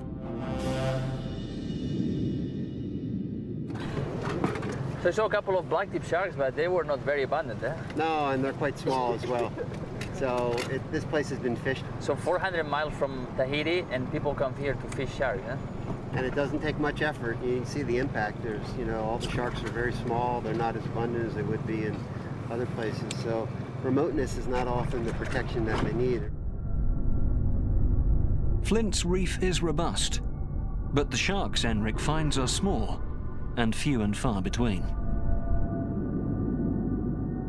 Fishing has clearly affected shark populations, even at this remote island sanctuary. So the team presses on in search of the perfect reef and more sharks. It's an overnight journey to an even more remote location, Vostok Island. And the Benthic is two dives in the morning. Correct. And then in the afternoon, do whatever we do is just fantastic. So.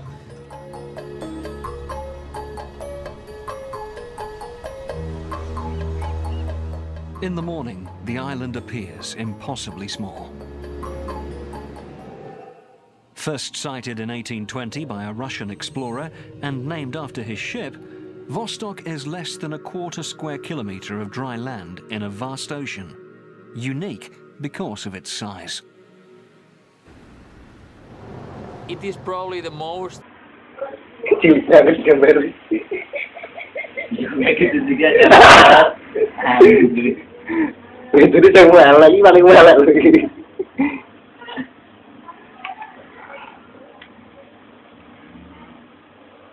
Itu dia mahal lagi paling mahal lagi. Principio apa sih? Yang di Korea itu tutupan.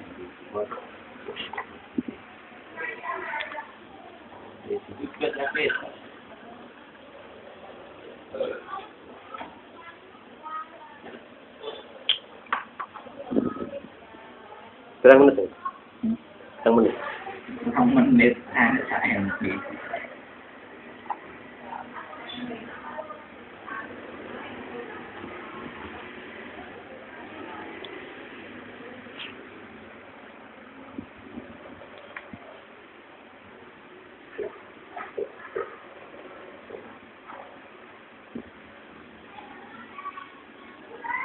Đây.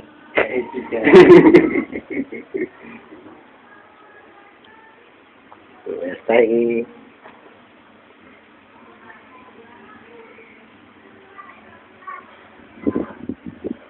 YouTube Kenapa tuh YouTube ya?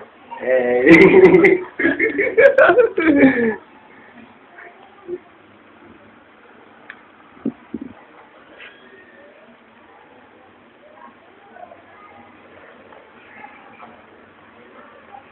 hoặc suối được bạn em chỉ có con nó nào bahkan cái akan kira ketiga aku dia ada musik yo yo tinggal ngomongin musik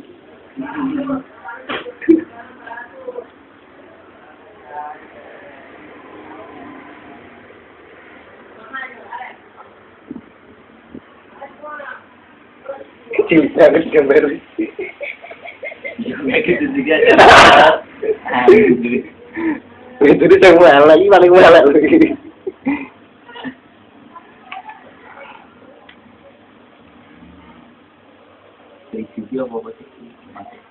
Thank you for it. It's a good fun.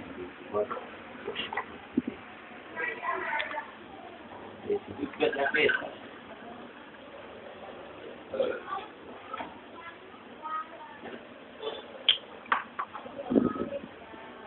Berapa menit? ya? Berapa menit? menit ada saya nanti.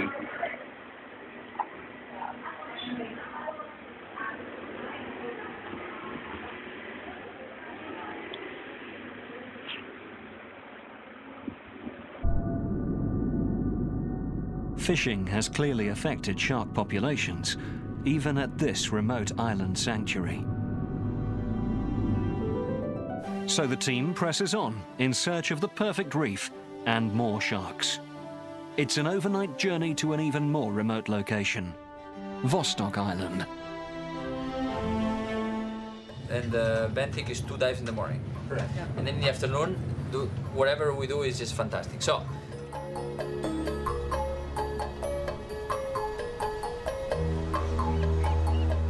In the morning, the island appears impossibly small. First sighted in 1820 by a Russian explorer and named after his ship, Vostok is less than a quarter square kilometre of dry land in a vast ocean, unique because of its size. it is probably the most pristine island because it's so small it has never had human habitation and the forest is the native tree. There are no coconut trees on this island. This is the tropical forest as it should be. So here on this teeny speck of land, you have a pristine coral island in the South Pacific.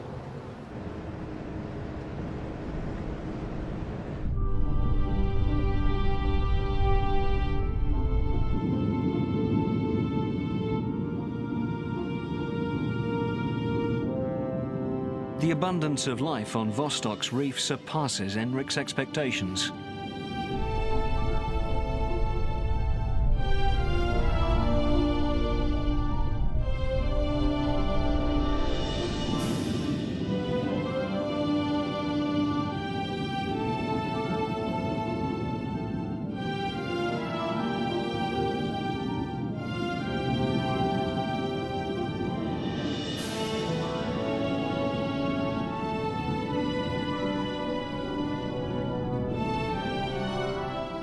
Nearly twice as many fish as at Flint, a larger island with a bigger reef.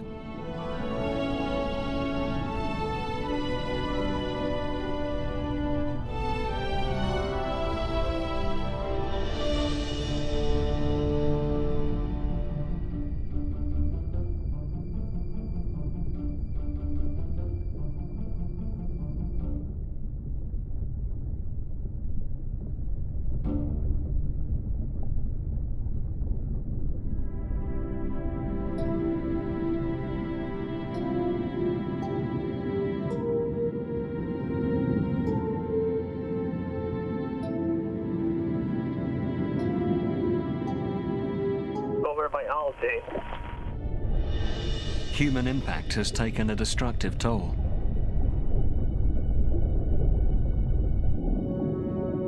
To Enric's surprise, the sharks here are small in size and few in number. To find a truly pristine ecosystem, Enric must leave Tahiti and push further into unexplored territory.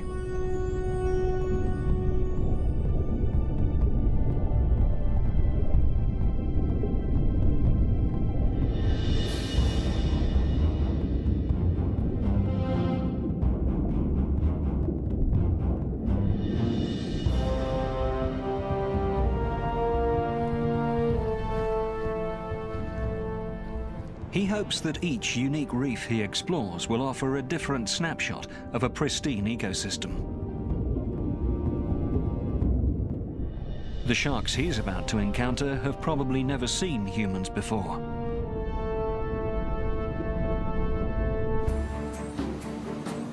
In the port of Papeete, Tahiti, the quest begins. The research team boards a floating laboratory called the Hanse Explorer.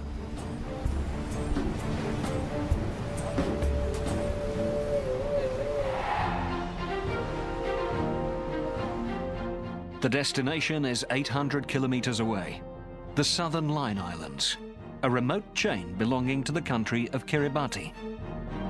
Over 30 days at sea, they'll cover nearly 3,200 kilometers. On a journey to the tiny atolls of Flint, Vostok, Starbuck, Malden, and Millennium. Five unique islands. Five pieces to the puzzle.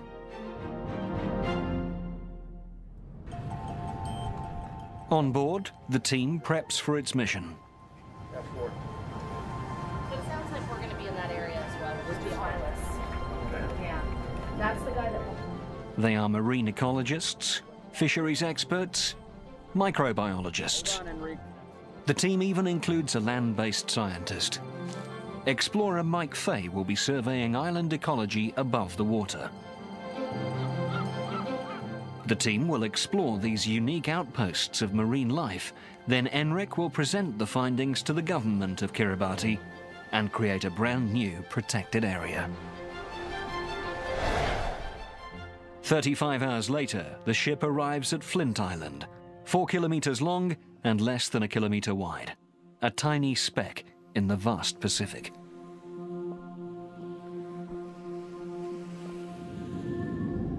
Flint, like all the islands the expedition will visit.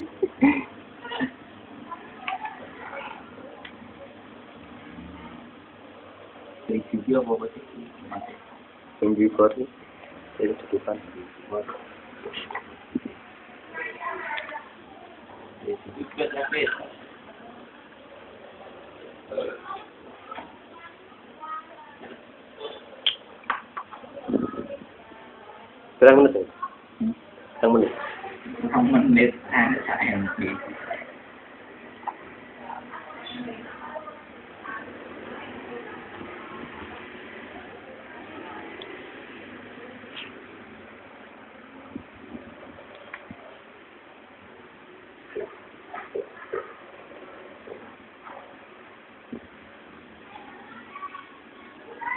Đây.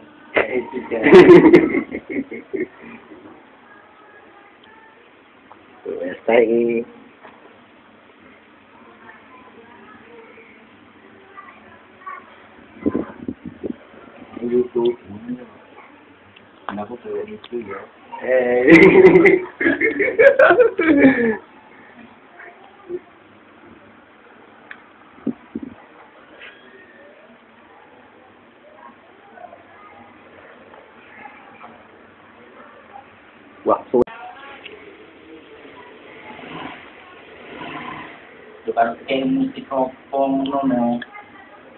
Bukan kayak konten ketiga, aku. Biar ada musik iyo, yo. Ini ngomongin musik.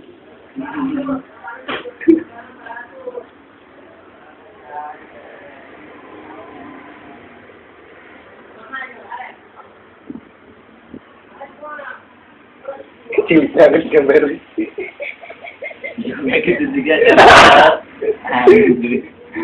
Itu dia yang lagi paling mulai lagi.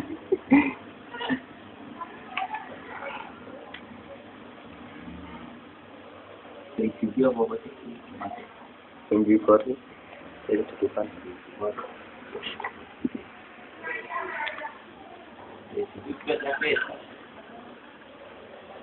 for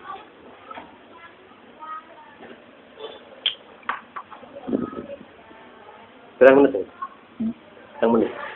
Không mình biết ăn chạy em gì.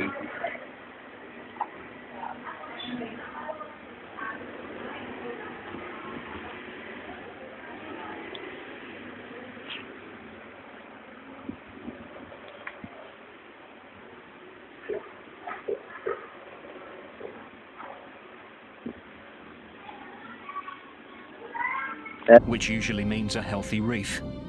What they find is beyond their expectations.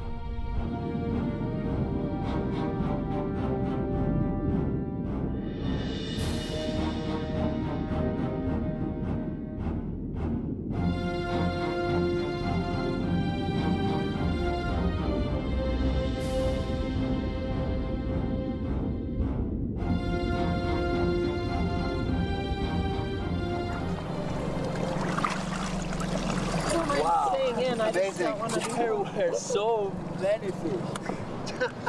I had like 150 species. It was crazy. They've discovered that Starbuck has the second largest biomass of all studied coral reefs. There is eight times more life here than the Hawaiian Islands or the Florida Keys. Exactly what you feel like to do. was okay. Even more surprisingly, Enric sees a different picture of the reef emerging. Pound for pound, there are more predators here than prey.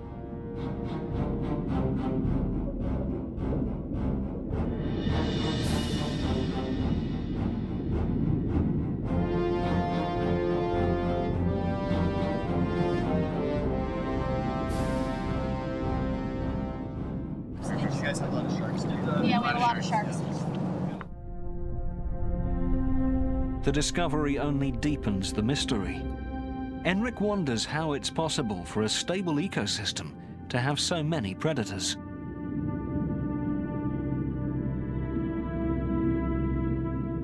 The richness of Starbuck's reef ends with the breaking waves. Enric and National Geographic photographer Brian Skerry join Mike Fay on Starbuck.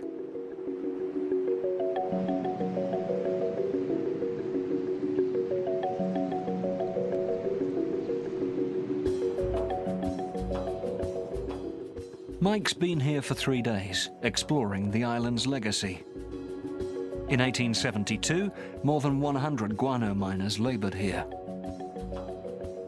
In 1920, it was abandoned, left to a few native shrubs and desert-like conditions. Starbuck's barren landscape is a stark contrast to its vibrant underwater world. The crew wonders what its next stop will reveal, an even larger atoll. It's a 200 kilometre overnight run northeast to Malden Island. Black tips, white tips, and grey reef sharks.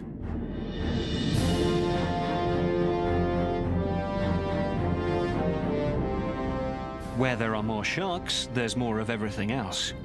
Carnivores, prey, even coral. Sharks are a clear sign that this system is healthy and undisturbed.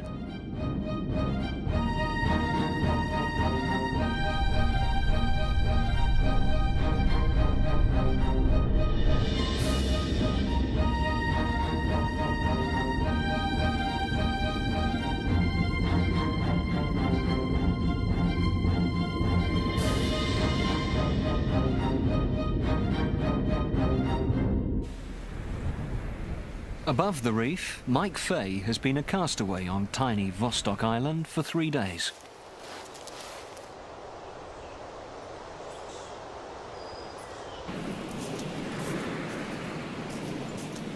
Enric Sala joins Mike Fay to see what he's discovered on the island. Hey, Mike.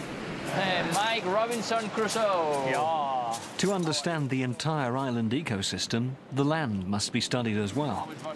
After three days, you know every bird, you know every plant, you know every lizard. This is the most gorgeous small island I've ever seen in my Oh, life. you wait till you see this forest. It's nuts. And the canopy is completely 100%, yeah. Absolutely.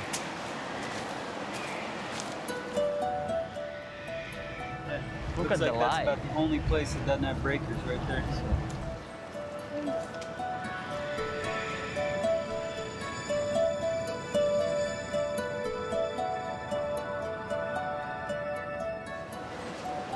This is uh, Hotel Vostok over here. You didn't have any trouble with your neighbors, huh? No, well, the um, coconut crabs are really curious. Fact, see, there he is right there. Oh, yes. Look at this. Wow. He's been around all three days. This is like being in the Galapagos when Darwin got there for the first time. Exactly. The animals don't know people. But this is this is paradise. They're just really curious. Unlike virtually every other South Pacific island, the forest ecosystem on Vostok is natural, despite the presence of an unusual and precious commodity. So here's just a pure mat of guano, and it kind of feels like, You can feel it. yeah, it's like a soft wrestling mat or something like that. It's just pure, absolute, rich. You make gunpowder. Guano, bird dung, reefs never fully explored. Concentrate on the driving. Let her load the boat. They will face a host of dangers. Diving here is not for the faint-hearted.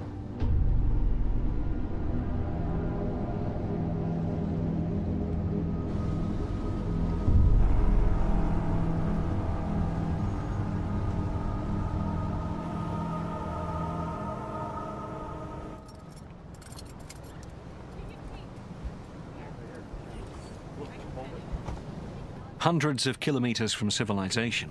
If anything goes wrong, they're on their own.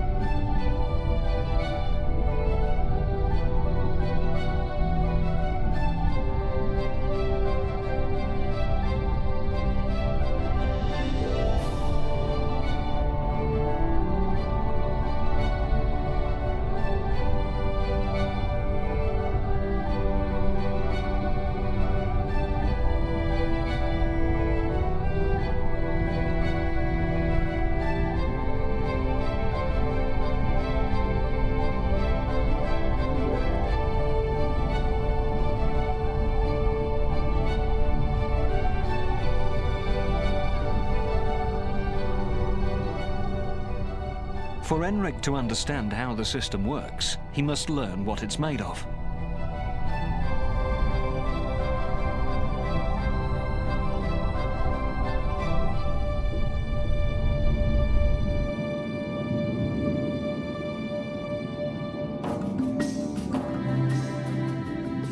Biomass is the weight of each type of fish on the reef.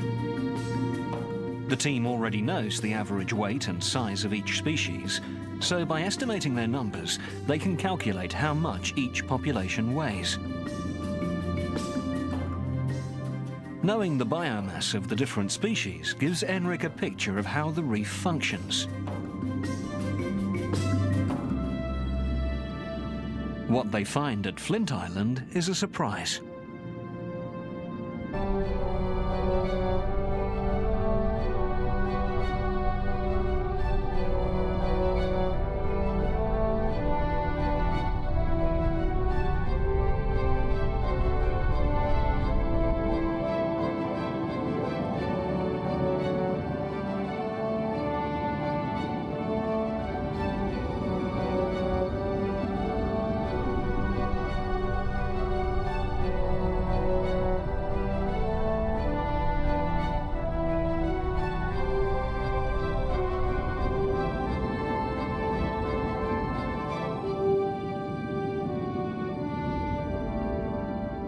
Millennium is a hidden treasure in perhaps the last unspoiled archipelago in the world. Enric has found his Eden, a place where coral reefs look like they did hundreds of years ago, ruled by predators.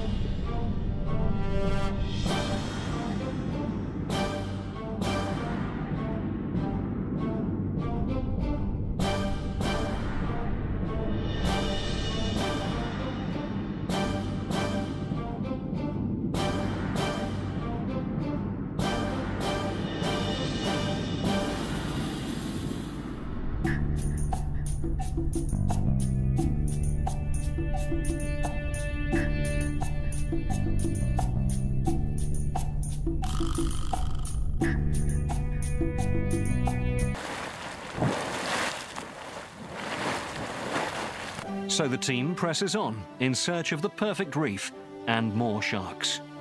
It's an overnight journey to an even more remote location, Vostok Island. And uh, the Benthic is two dives in the morning. Correct. Yeah. And then in the afternoon, do whatever we do is just fantastic. So.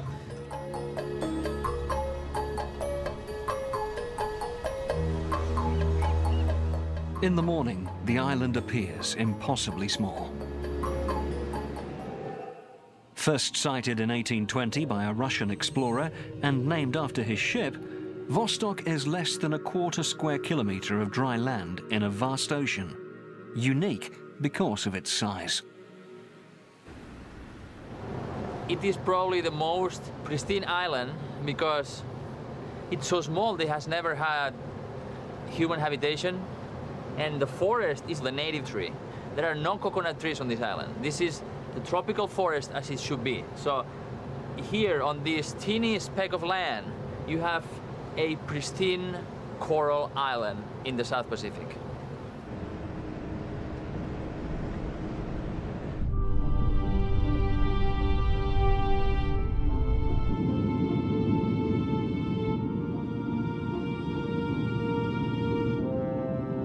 The abundance of life on Vostok's reef surpasses Enric's expectations.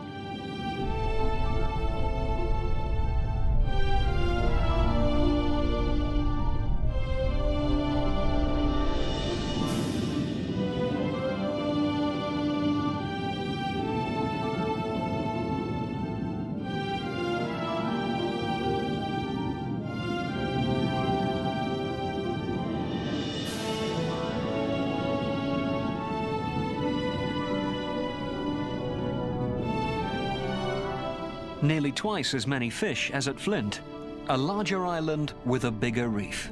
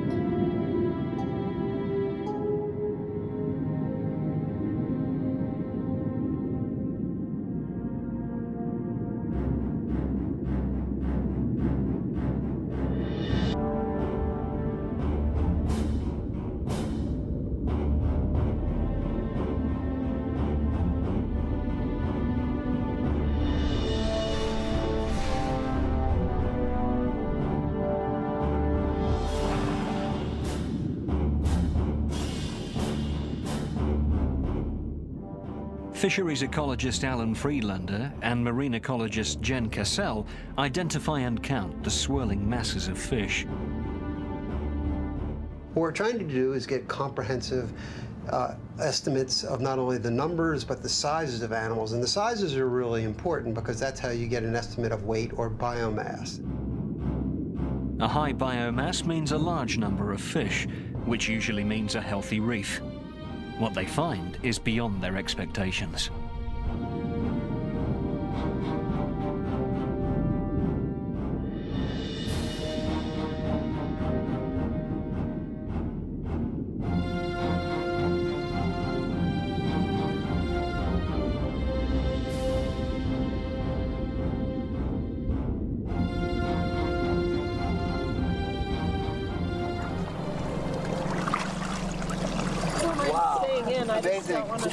There were so many fish.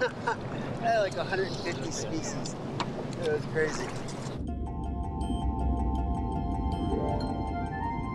They've discovered that Starbuck has the second largest biomass of all studied coral reefs. There is eight times more life here than the Hawaiian Islands or the Florida Keys. Know exactly what you like to do. it was okay? Even more surprisingly, Enric sees a different picture of the reef emerging. Pound for pound, there are more predators here than prey.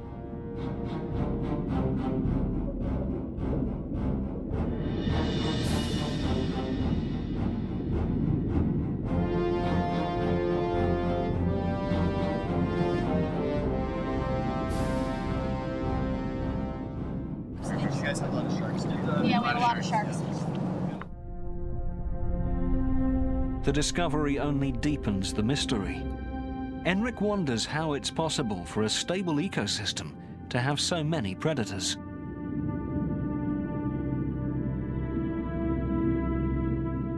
The richness of Starbuck's reef ends with the breaking waves. Enric and National Geographic photographer Brian Skerry join Mike Fay on Starbuck.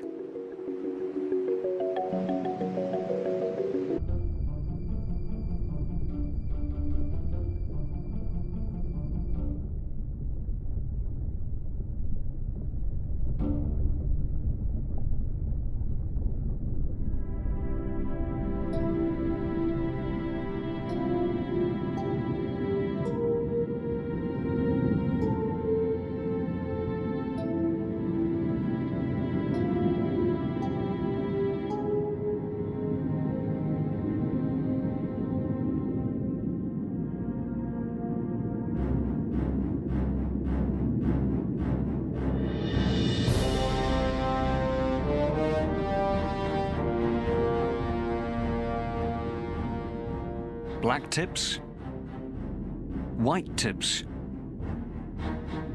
and grey reef sharks.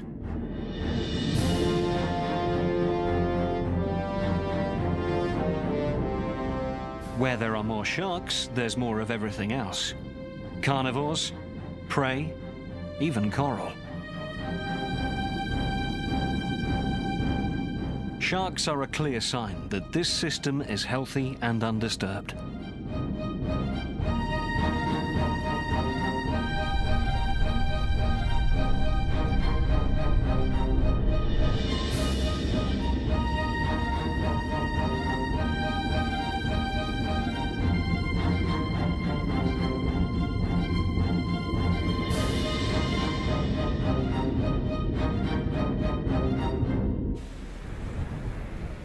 Above the reef, Mike Fay has been a castaway on tiny Vostok Island for three days.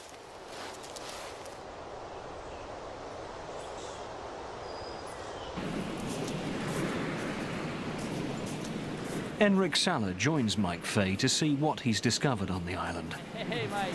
Hey, Mike Robinson Crusoe. Yeah. To understand the entire island ecosystem, the land must be studied as well.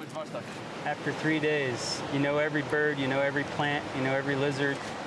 This is the most gorgeous small island I've ever seen in my Oh, life. you wait till you see this forest. It's nuts. And the canopy is completely 100%, yeah. Absolutely.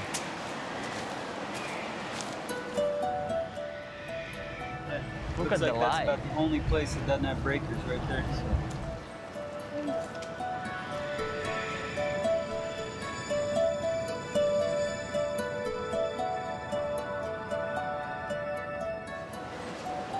This is uh, Hotel Vostok over here. You didn't have any trouble with your neighbors, huh? No, well, the um, coconut crabs are really curious. In fact, see, there he is right there. Oh, yes, look at this. Wow.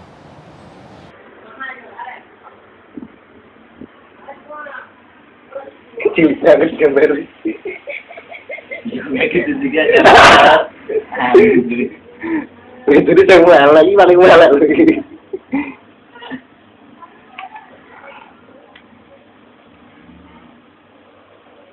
dia mau baca Thank you for it. Jadi tu kan.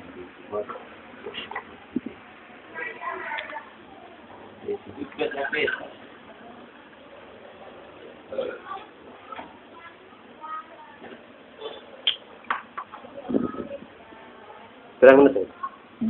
Berapa menit? Berapa menit? Berapa?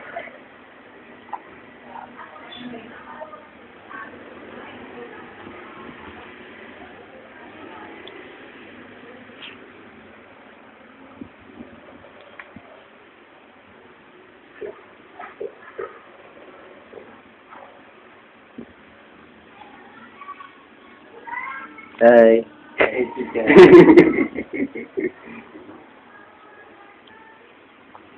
Ahí.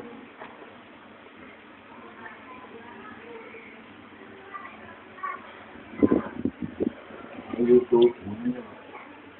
Nó có từ YouTube vậy.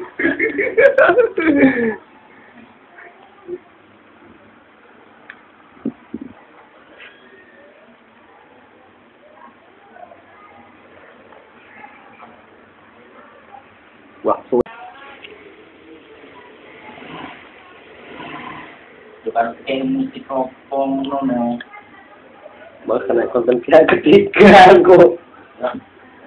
Dia ada musik yo yo. Ki ngomongi musik.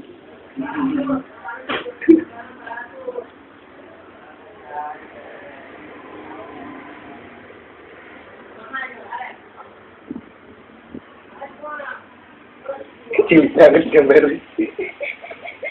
Ya, kita juga. Itu dia yang mahal lagi paling mahal lagi.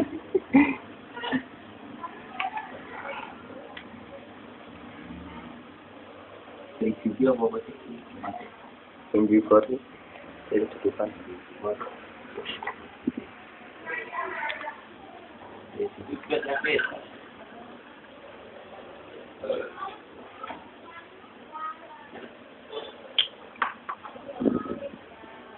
Berapa menit? Ya? Berapa menit? Không mình biết ai nó chạy làm gì.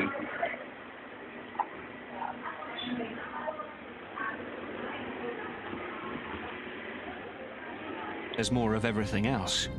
Carnivores, prey, even coral. Sharks are a clear sign that this system is healthy and undisturbed.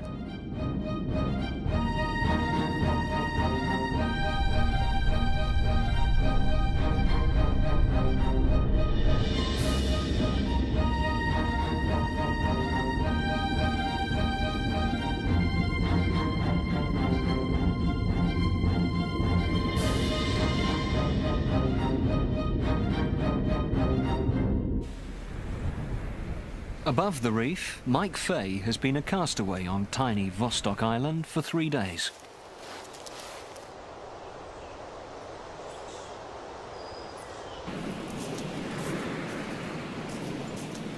Enric Sala joins Mike Fay to see what he's discovered on the island. Hey, Mike. Hey, Mike Robinson Crusoe. Yeah. To understand the entire island ecosystem, the land must be studied as well. After three days, you know every bird, you know every plant, you know every lizard. This is the most gorgeous small island I've ever seen in my Oh, life. you wait till you see this forest. It's nuts. And the canopy's completely 100%, yeah. Absolutely.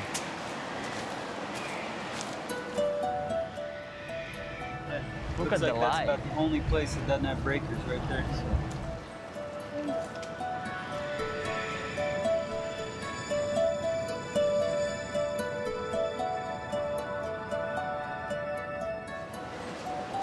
This is uh, Hotel Vostok over here. You didn't have any trouble with your neighbors, huh? No, well, the um, coconut crabs are really curious. Fact, see, there he is right there. Oh yes, look at this. Wow. He's been around all three days. This is like being in the Galapagos when Darwin got there for the first time. Exactly. The animals don't know people.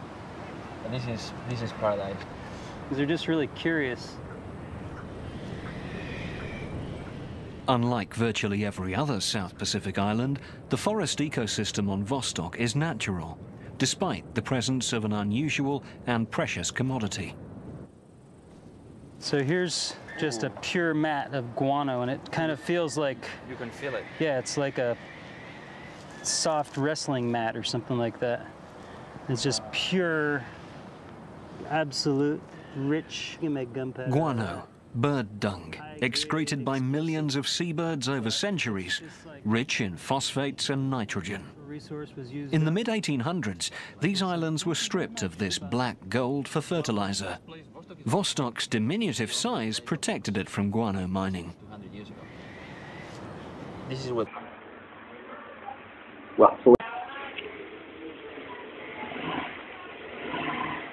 Pakai mikrofon nono. Makanya konten kita ketiga aku.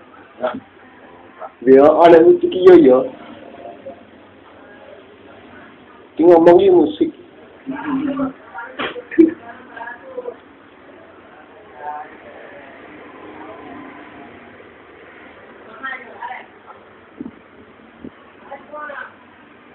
Kecil banget gambar.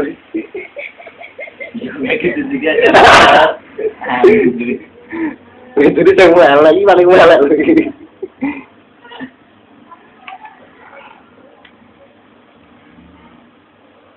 Dari video apa sih? Yang before nih, itu tutupan. Juga tapi.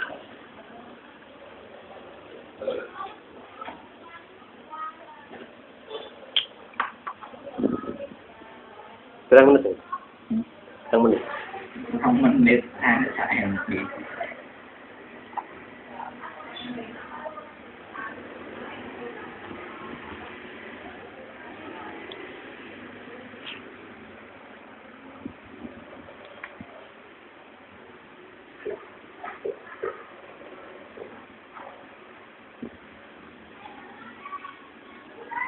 Hey.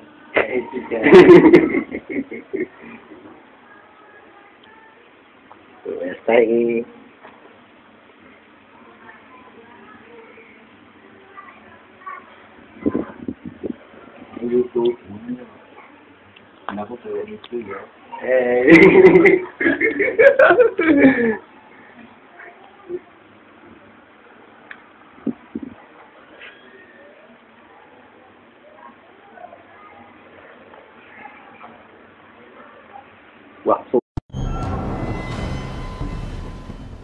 In a remote corner of the South Pacific, National Geographic explorer Enric Sala leads an elite team into a hidden world in search of an underwater Eden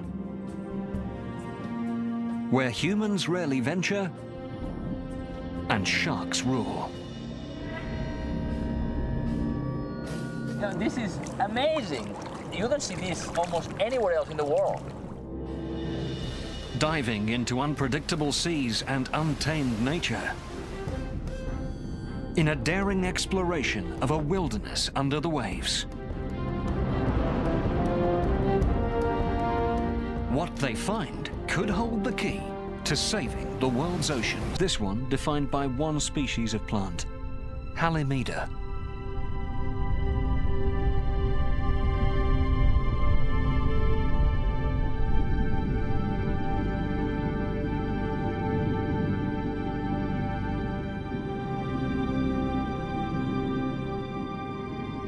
Where the plant is dying off, its limestone skeleton becomes the sand of the reefs and beaches.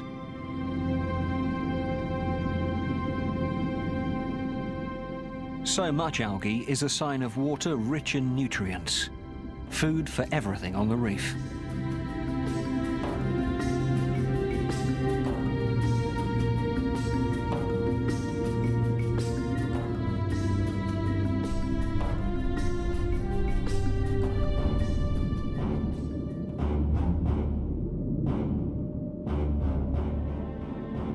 The result is an explosion of life, from the plants to the sharks.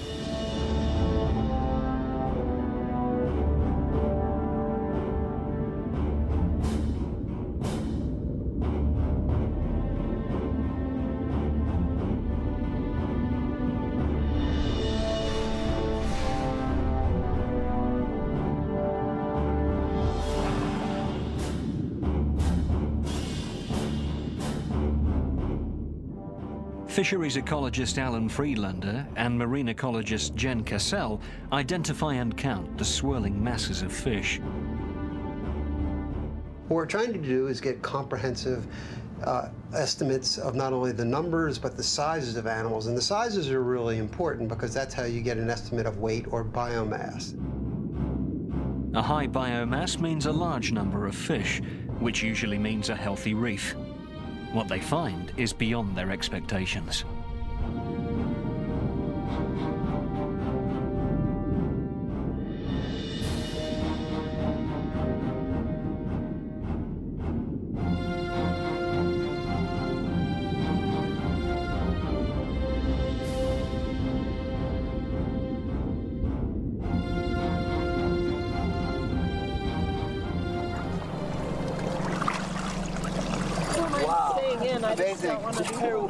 So many fish.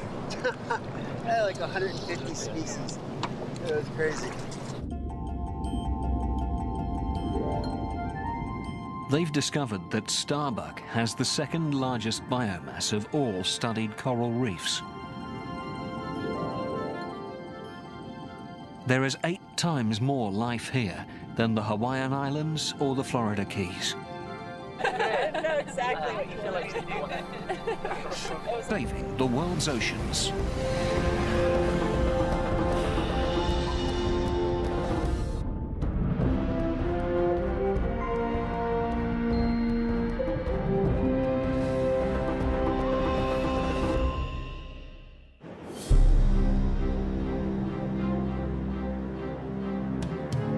Tahiti, the South Pacific. A small group of scientists is on a mission with an almost impossible goal to find the last stretches of ocean that remain as they were before man.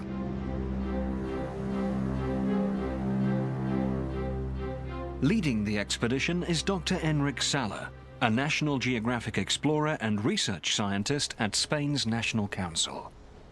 What I'm doing to help protect the ocean is come to places like this, wild, pristine places, explore them, understand how they work, and raise awareness.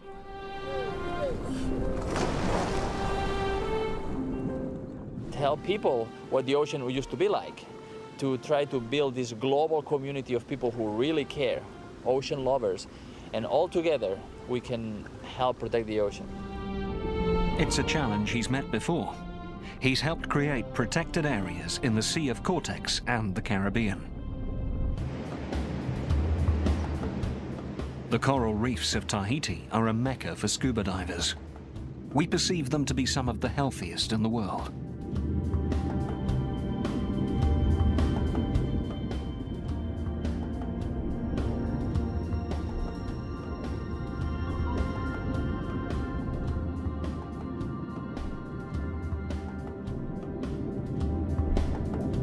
Life appears to flourish here. Thousands of fish feed on plankton and algae. They are prey for numerous ocean dwellers, jacks, snapper and morays, mid-sized carnivores. And then, sharks. They rule the food chain in a way we've come to expect. An abundance of small prey sustaining a few top predators.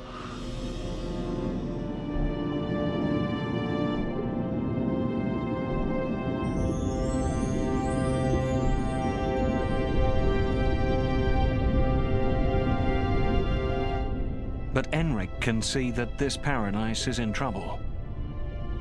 This used to be a really nice coral forest with really big corals, but now most of the corals are very small and most of them are dead and covered by algae. In search of an underwater Eden, where humans rarely venture and sharks rule.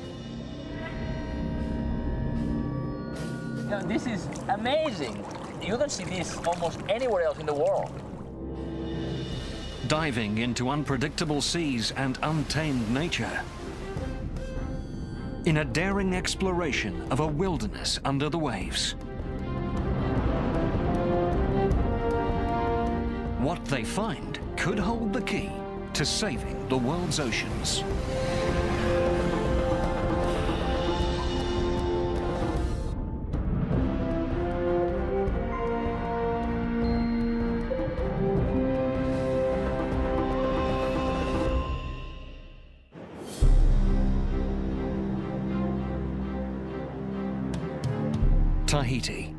The South Pacific. A small group of scientists is on a mission with an almost impossible goal to find the last stretches of ocean that remain as they were before man.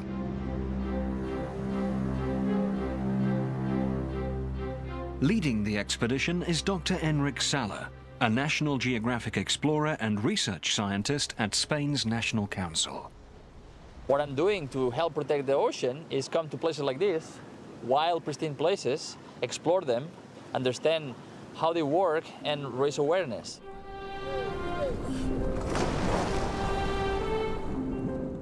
Tell people what the ocean used to be like, to try to build this global community of people who really care, ocean lovers, and all together we can help protect the ocean. It's a challenge he's met before. He's helped create protected areas in the Sea of Cortez and the Caribbean. The coral reefs of Tahiti are a mecca for scuba divers. We perceive them to be some of the healthiest in the world.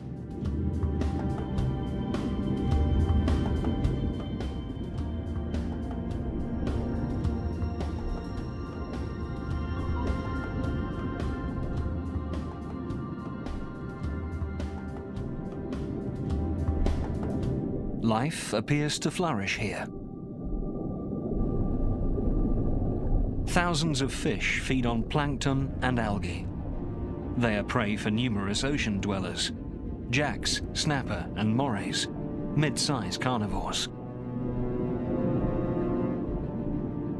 And then, sharks. They rule the food chain and below. Only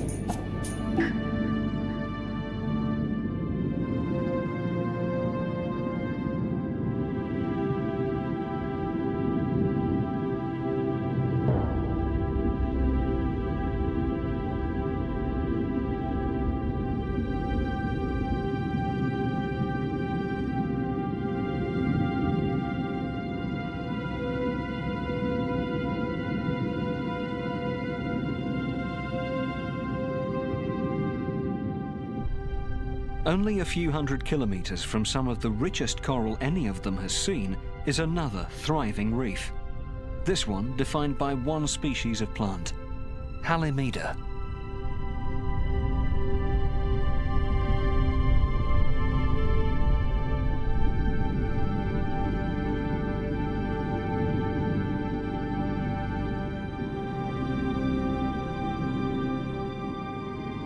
Where the plant is dying off, its limestone skeleton becomes the sand of the reefs and beaches.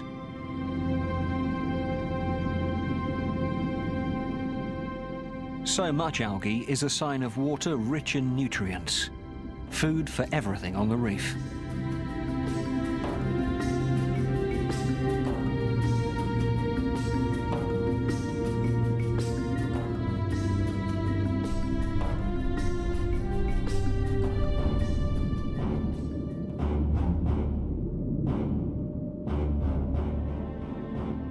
The result is an explosion of life, from the plants to the sharks.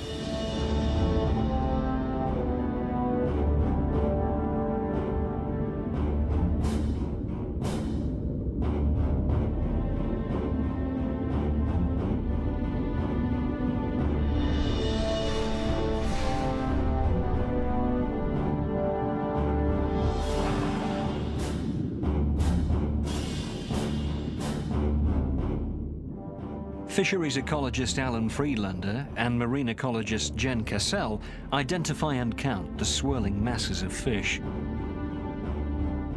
What we're trying to do is get comprehensive uh, estimates of not only the numbers but the sizes of animals. And the sizes are really important because that's how you get an estimate of weight or biomass. A high biomass means a large number of fish, which usually means a healthy reef. What they find is beyond their expectations.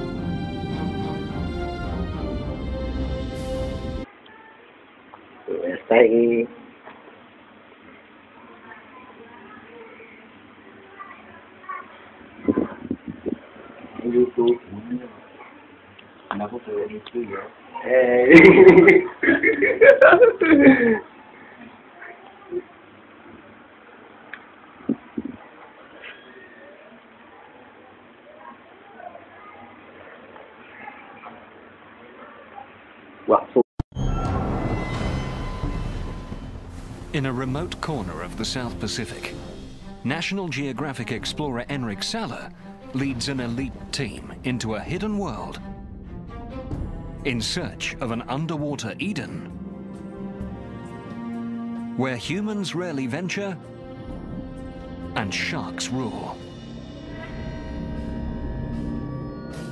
This is amazing. You don't see this almost anywhere else in the world. Diving into unpredictable seas and untamed nature. In a daring exploration of a wilderness under the waves. They find could hold the key to saving the world's oceans.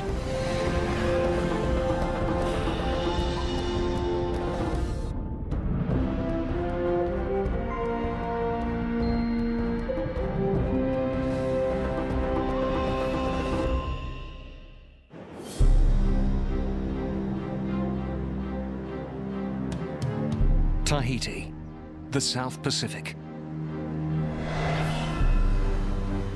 A small group of scientists is on a mission with an almost impossible goal to find the last stretches of ocean that remain as they were before man.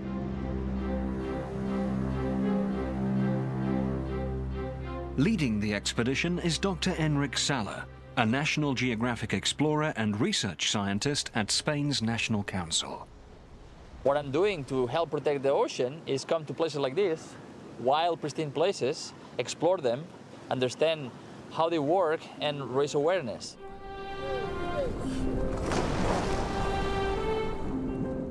Tell people what the ocean used to be like, to try to build this global community of people who really care, ocean lovers, and all together we can help protect the ocean. It's a challenge he's met before. He's helped create protected areas in the Sea of Cortez and the Caribbean. The coral reefs of Tahiti are a mecca for scuba divers. We perceive them to be some of the healthiest in the world. To fear people. Mike's documented eight species of seabirds here. Frigates, boobies and terns are among the residents, feeding in the rich waters. But the ocean currents carry more than food to the island's shore. Human refuse litters the beach even here. Evidence of modern life on an island virtually unchanged for hundreds of years.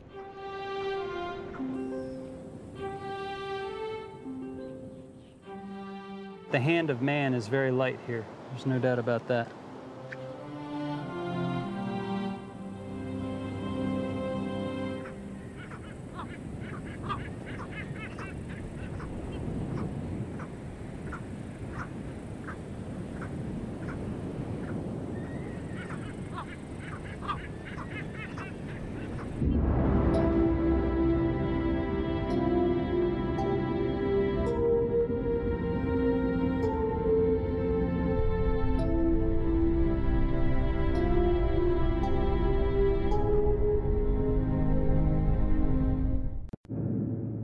In Vostok, the team gets its first snapshot of a pristine island.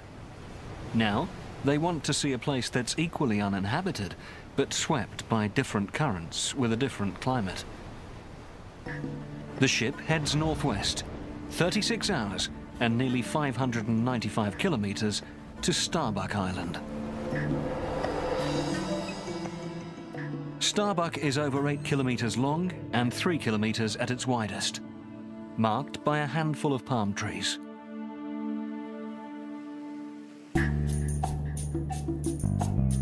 Starbuck gets little rainfall. Low-growing plants dot the baking coral rubble. Enric and his team are anxious to see how the parched landscape above has affected the reef below.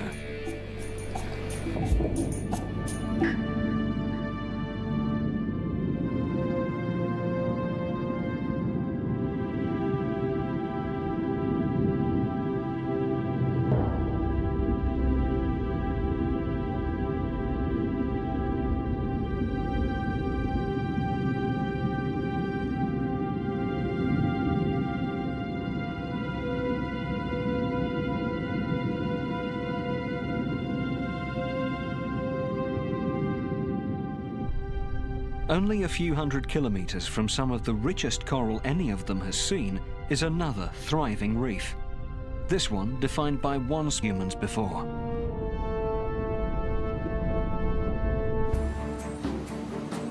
In the port of Papeete, Tahiti, the quest begins. The research team boards a floating laboratory called the Hanse Explorer.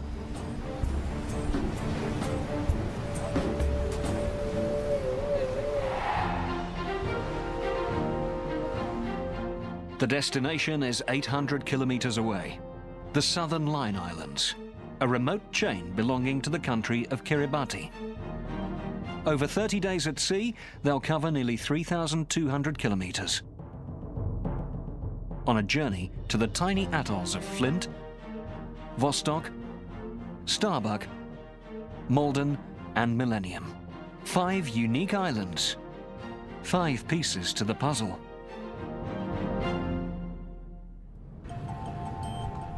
On board, the team preps for its mission. It sounds like we're going to be in that area as well with the Twilis. Yeah. That's the guy that. They are marine ecologists, fisheries experts, microbiologists. The team even includes a land-based scientist. Explorer Mike Fay will be surveying island ecology above the water. The team will explore these unique outposts of marine life. Then Enric will present the findings to the government of Kiribati and create a brand new protected area. 35 hours later, the ship arrives at Flint Island, four kilometers long and less than a kilometer wide. A tiny speck in the vast Pacific.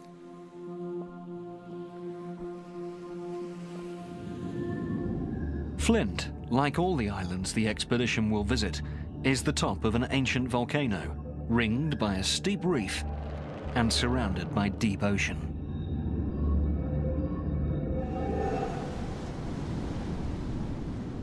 The reef here is so short, so the waves are breaking right there. So it's impossible to dive on the on the windward side. So we'll have to dive on this on this side here, protected from the from the waves, and we'll meet at lunchtime to see what's there. They'll dive at sites around the island. We start here, and this will be the Reefs never fully explored. Concentrate on the driving. Let her load the boat. They will face a host of dangers. Diving here is not for the faint-hearted.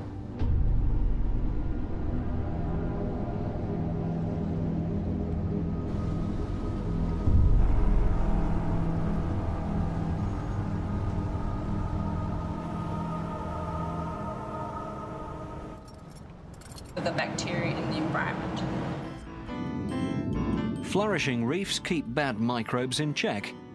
But Liz has discovered certain algae found on damaged reefs release food for bacteria and can cause bad bacteria to grow out of control. Development, fishing, and pollution upset the delicate balance between algae and coral. If algae gains the upper hand, it can cause a bacterial explosion, which can wipe out the coral. There are 10 times more microbes on reefs degraded by man. But the pristine reefs of the southern Line Islands are among the most robust ENRIC has ever studied. More corals, more fish, and many more sharks.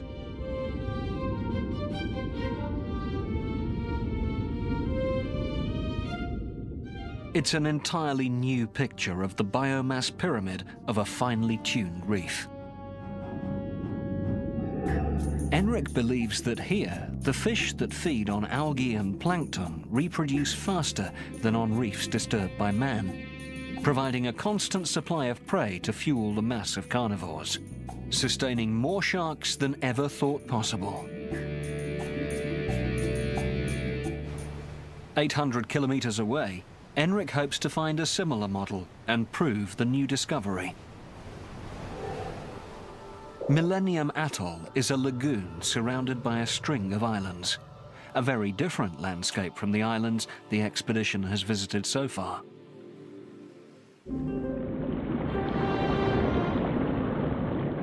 The outer reef breaks the ocean waves and protects a peaceful lagoon with a surprising secret.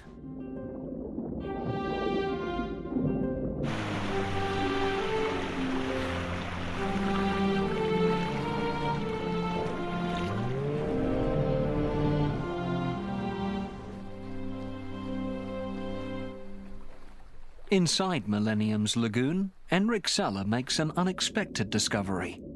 Blacktip reef sharks swarm the flats.